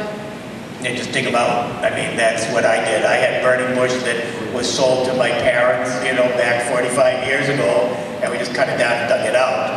Um, that's the answer to everything with invasives. There's all kinds of research that shows that if you do, you know, if you do a five-year study on invasives and you use Roundup or Rodeo or the cocktail combination, at the end of five years, uh, eradication is more effective than chemical eradication because it doesn't, you know, do it in the case of the burning bushes wouldn't kill it, but it's gonna be a pretty toxic way to do it. It's better than a spray, like painting it on there, but it's still gonna go end up down there. So I'm, you know, as, as, as, as much as it sounds, I'm, I'm very much in favor, and in all my projects, if I'm gonna renovate, if I'm gonna advise somebody to renovate a lawn, I'm not gonna tell them to round up the whole lawn like they do at Cooperative Extension when they teach at the universities, you know, down in Massachusetts, in turf, turf school, they teach you, if you want to renovate a lawn, you round up the whole lawn, and then you slit seed, new seed into the round up lawn.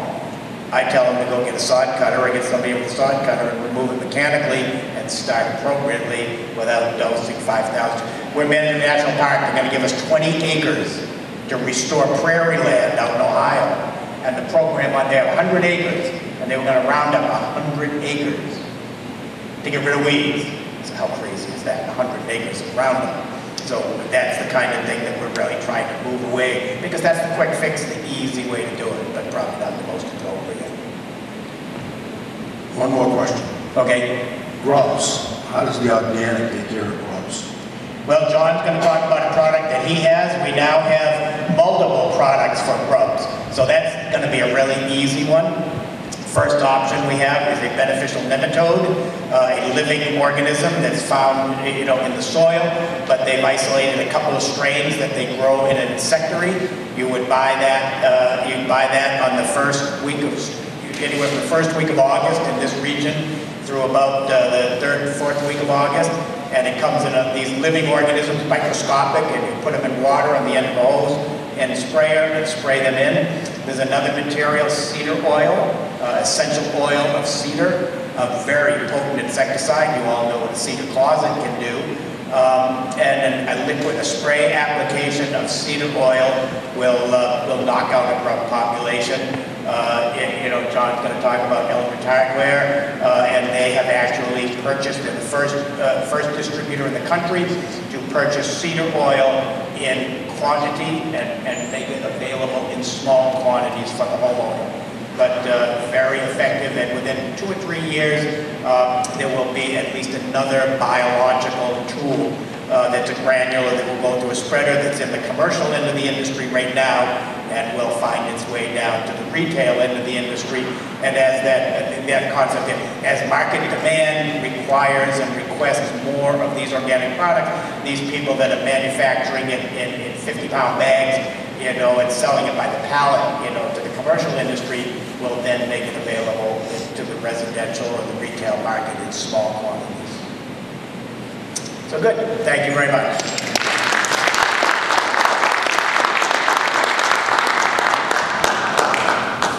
We have uh, one final speaker.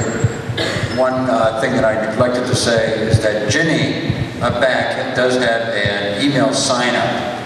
Uh, and if you are willing to, she's going to pass that clipboard around, and if you're willing to give your email to the Healthy Lawns Clean Water Group in Exeter, she would really appreciate it. Appreciate that. Our final speaker is John Bochert, and John is works for Eldridge Lumber and Hardware in York, Maine.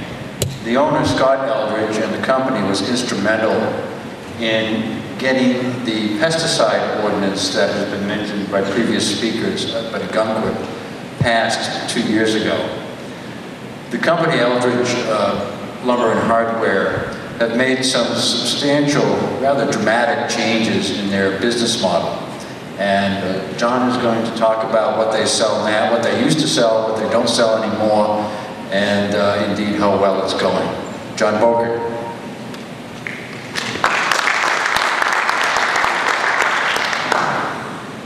Thank you, Jeff.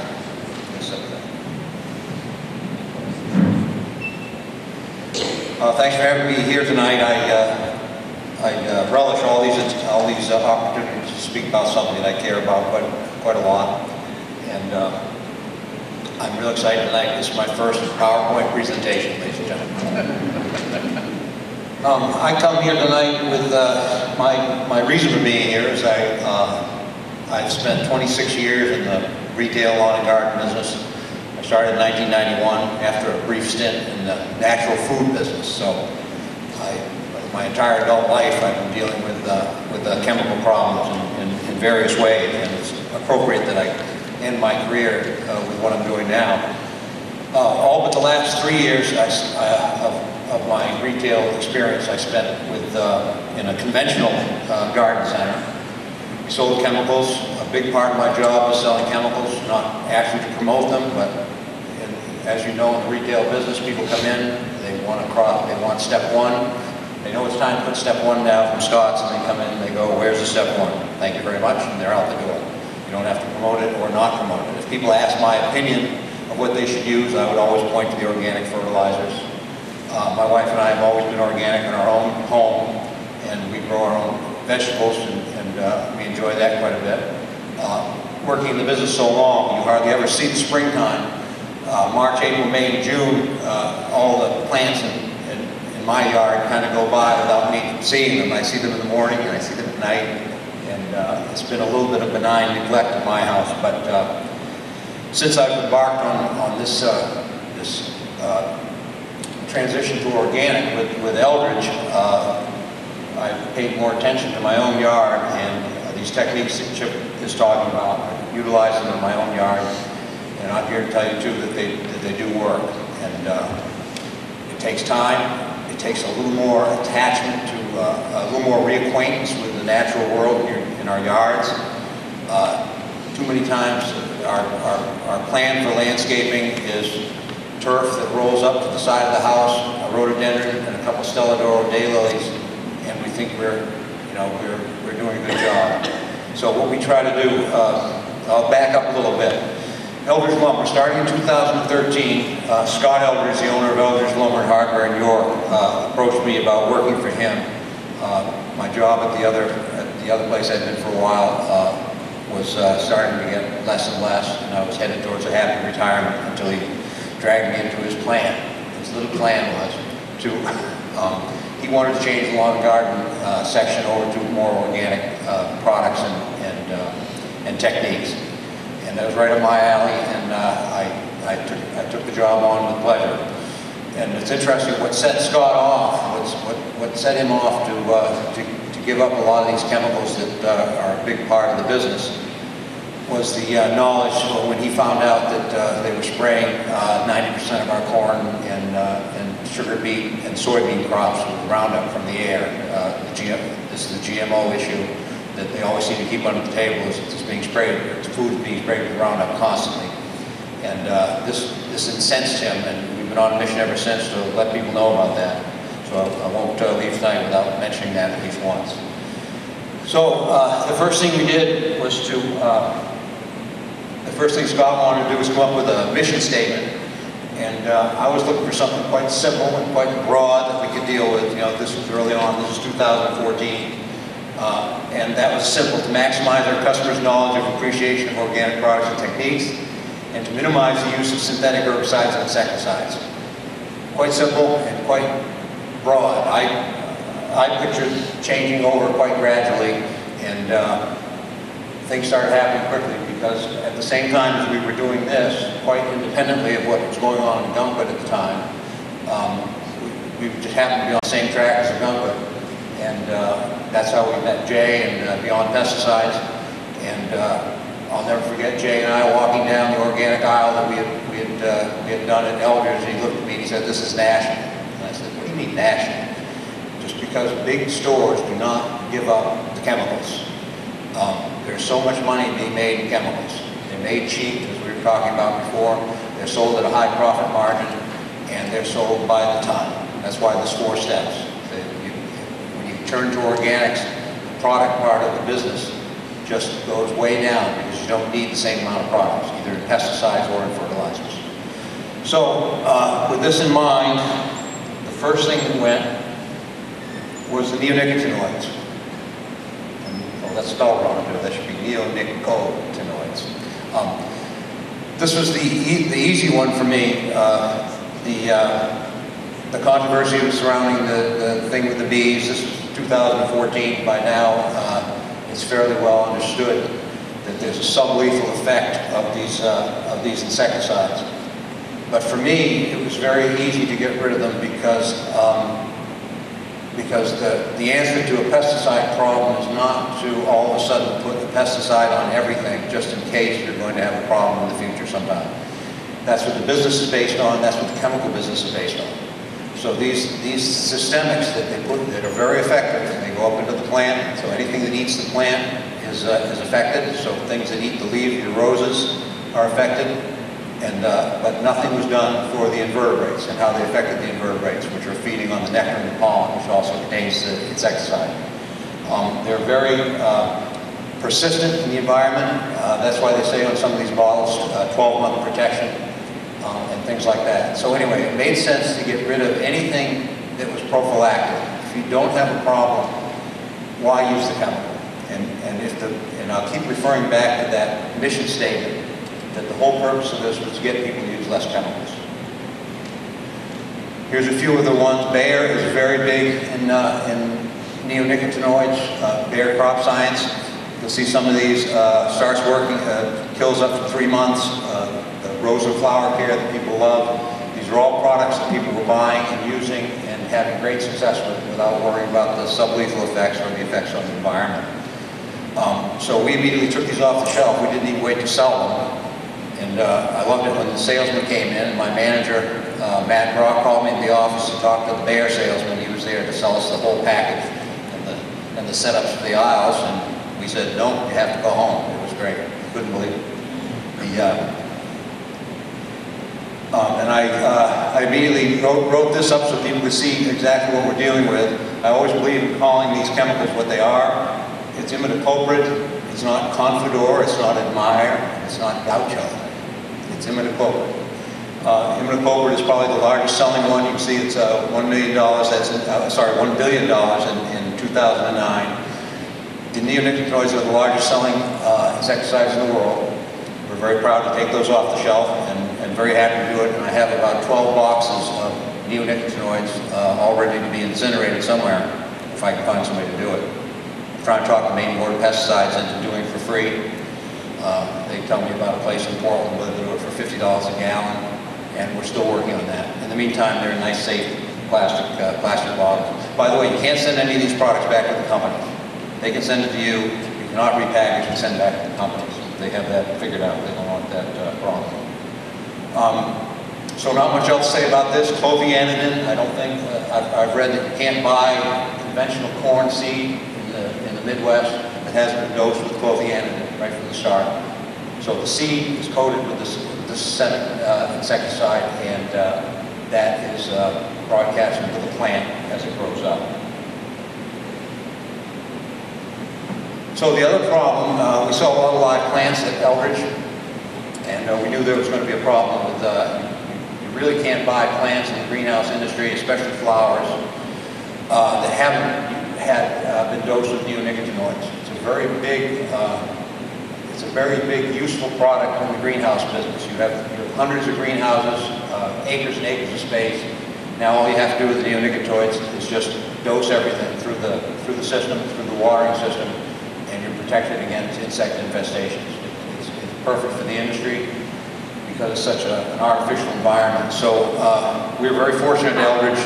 A quarter mile down the road from the store, uh, we have a distribution center which also had a one acre turf, uh, turf area. It was an old uh, CMP office building that, that he bought. We immediately put up one greenhouse, and we have two now.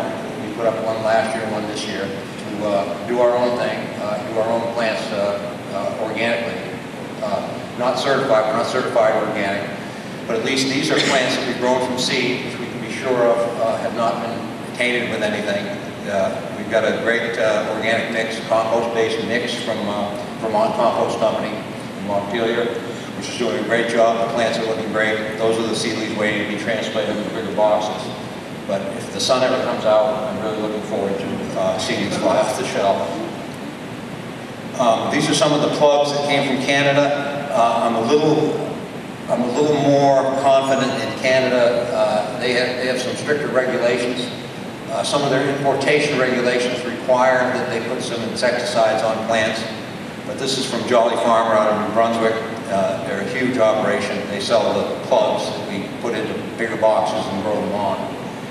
And uh, they claim they're 85%, uh, 85% uh, without insecticides. Uh, I'm not quite sure what that means, 85% of the area, 85% of the insect problems, I don't know. But uh, they're using beneficial insects.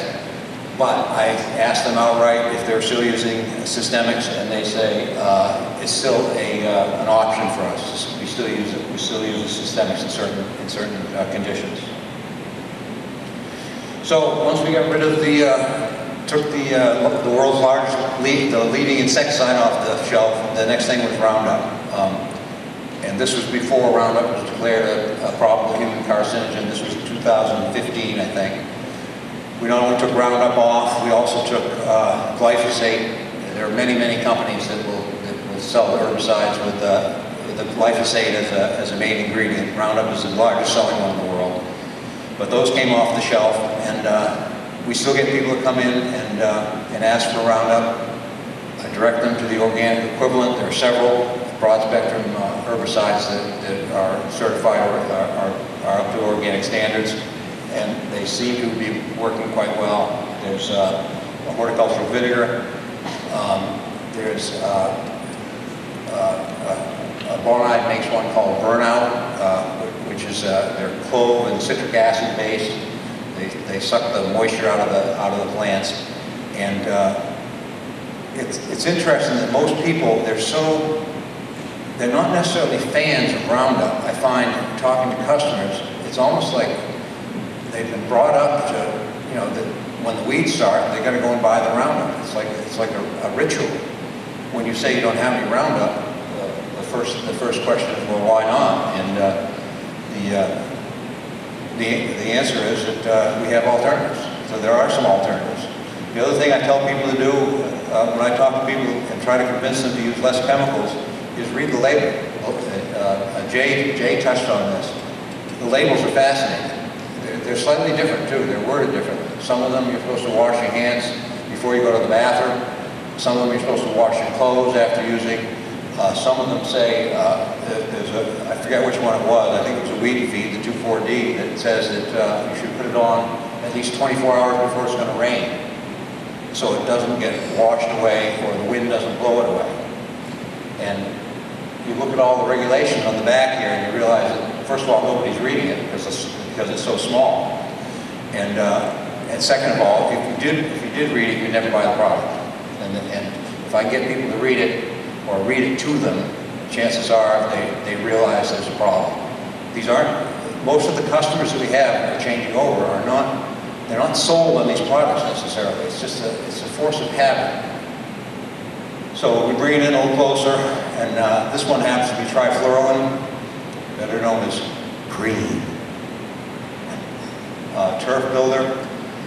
Uh, also, the other thing you learn from the label is how little of these chemicals can be spread over 5,000 square feet and still be deadly to whatever they're after. I think I, I think I found a 15,000 square foot bag of Scotts that contains six ounces of the chemical. So six ounces spread over 15,000 square feet.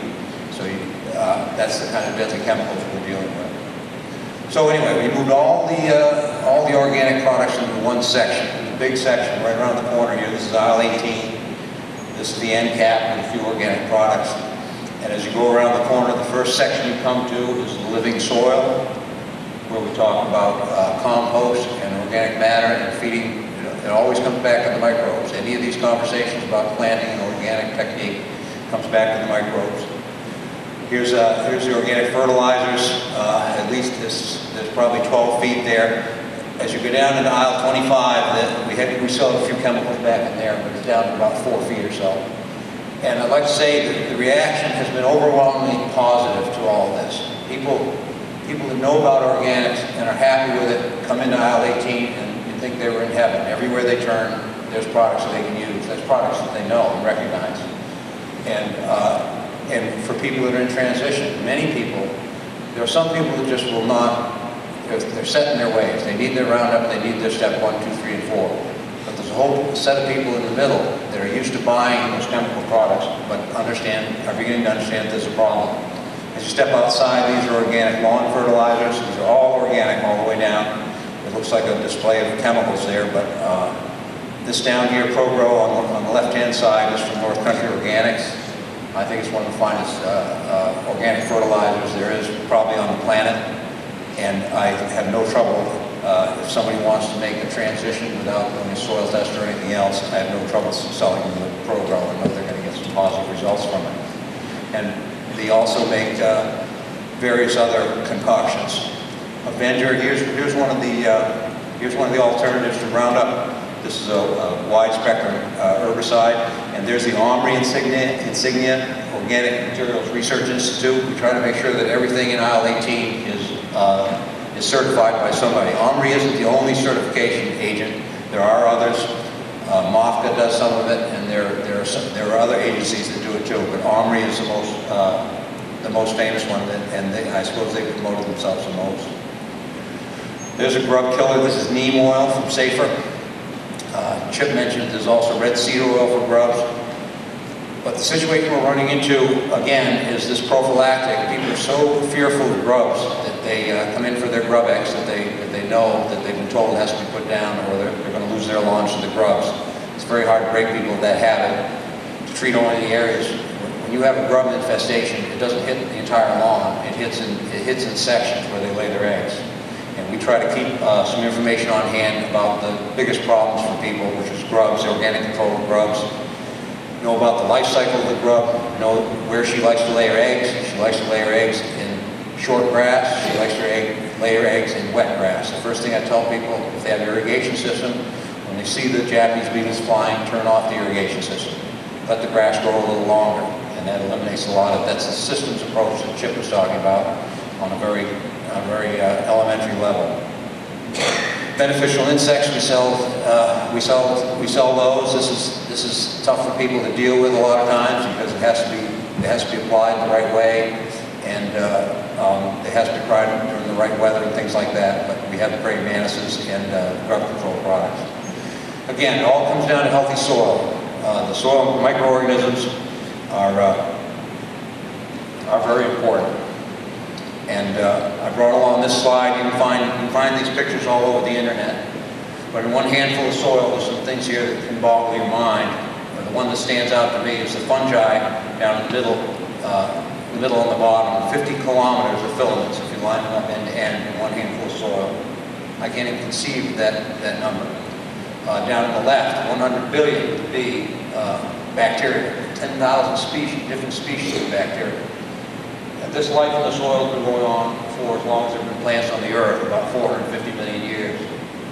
And we've been using chemicals for three generations now. And I just look at people and say, what do you want to do? Do you want to work with that or do you want to work against that? And it, uh, it's a very effective way to get people to use less chemicals. I'll, I'll zip along here, I'm late. Um, uh, different, we, we, we bag some of our own fertilizers here. The bone char on the left is a very good source of quick phosphate. Uh, Menefee humates on the right is a, is a good, that's a soil microbe feeder. There's a lot of these things that, that, that feed the soil directly, feed the microbes in the soil, just perk them up and make them multiply faster. We already talked about the clover. The crabgrass, uh, uh, Chip, Chip got into that, it's a warm season grass, so the middle of the summer when our grasses are going dormant, that's when everybody sees the crabgrass. The crabgrass is already germinated in their lawn, it's sitting there right now. And the idea with organic practices is to make sure that it doesn't go any further than the size it is right now. And that's, that's the secret, it's not, it's not going away. And that's the myth of chemicals too, is that these things can be controlled 100%. And then I chose this picture because uh, uh, one of the things that happens a lot of times is people come in and they want to change over to organic methods in their lawns. And I say, how many square feet do you have? And they go, oh, I don't know, 55,000. You know, some amazing amount. And the first thing I tell them is, why don't you get it down to the amount of grass you can do with a push mower? And then, then we'll find, uh, we'll, uh, we'll do some diverse plantings for the rest of the place. We'll do a meadow, or we'll plant some trees.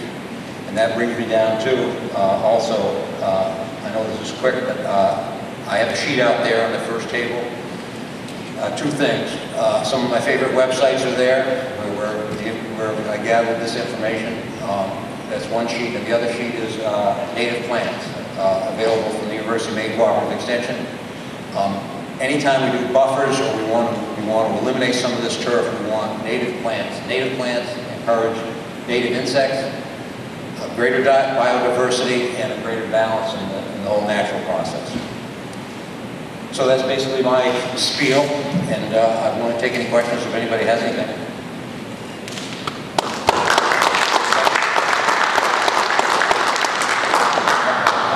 Thank you very much, John. We're going to take just a couple questions. I will tell you that all three speakers will still be here for a bit afterwards, so if there's other questions, certainly engage them and, and, and get the information you need. I'm just wondering what you recommend to kill Poison ivy. Poison ivy, I would, uh, I would use that horticultural vinegar, 20%, um, assuming that we want to put a product on it, okay? Because there's another way of of doing poison ivy too, which I, which I've done often. Um, Again, I talk, I talk about getting up close and personal with nature a little bit. And what I do is I put on a pair of rubber gloves, I put on long sleeve shirt and, and long pants, and I tear it out by the roots. First of all, I love tearing things out by the roots because it, it, you know, it, it solves the problem instantly and, and it makes the area kind of look clean too. Um, now, I don't do this any longer than half an hour and I'm inside and put the, put the clothes in the washer and go take a shower. But, do I have patches of poison ivy on my, on my yard? Yes, I do. I have patches. When, when they start to get in a situation where they're gonna rub up against my ankles, then they get, they get yanked out. However, if you wanted to spray something, when they're actively growing, a couple sprays of that uh, horticultural vinegar, it's twenty percent vinegar. Dangerous to get in your eyes or on your hands. It's, that's four times stronger than regular vinegar, but it works pretty well. You have to do it several times. Is there another question for John? There being none, John, thank you very much. Appreciate it. Ladies and gentlemen, I want to thank you as well as the speakers uh, for spending the time tonight. A great deal of information has been thrown at all of you. Uh, We're going to suspend the multiple choice test tonight, so you'll be able to leave without having passed that. But uh, I hope that what you've heard, you can put into action, and that what you've heard, you can pass on to a neighbor and tell somebody else about some changes that we all need to make in the way we treat our turf, our lawns. There's a lot of work that can be done, you know, within your, within your towns. You can change the way you take care of your playing fields, your cemeteries, and anything else that's publicly owned. And you can make those changes on your own personal front yards and backyards. So, again, thank you very much for your time. There's a lot more information still out there on the table. Don't forget RJ's, clean that table off so we don't have to. Anything that's on there, you take. Uh, Thank you again for your time.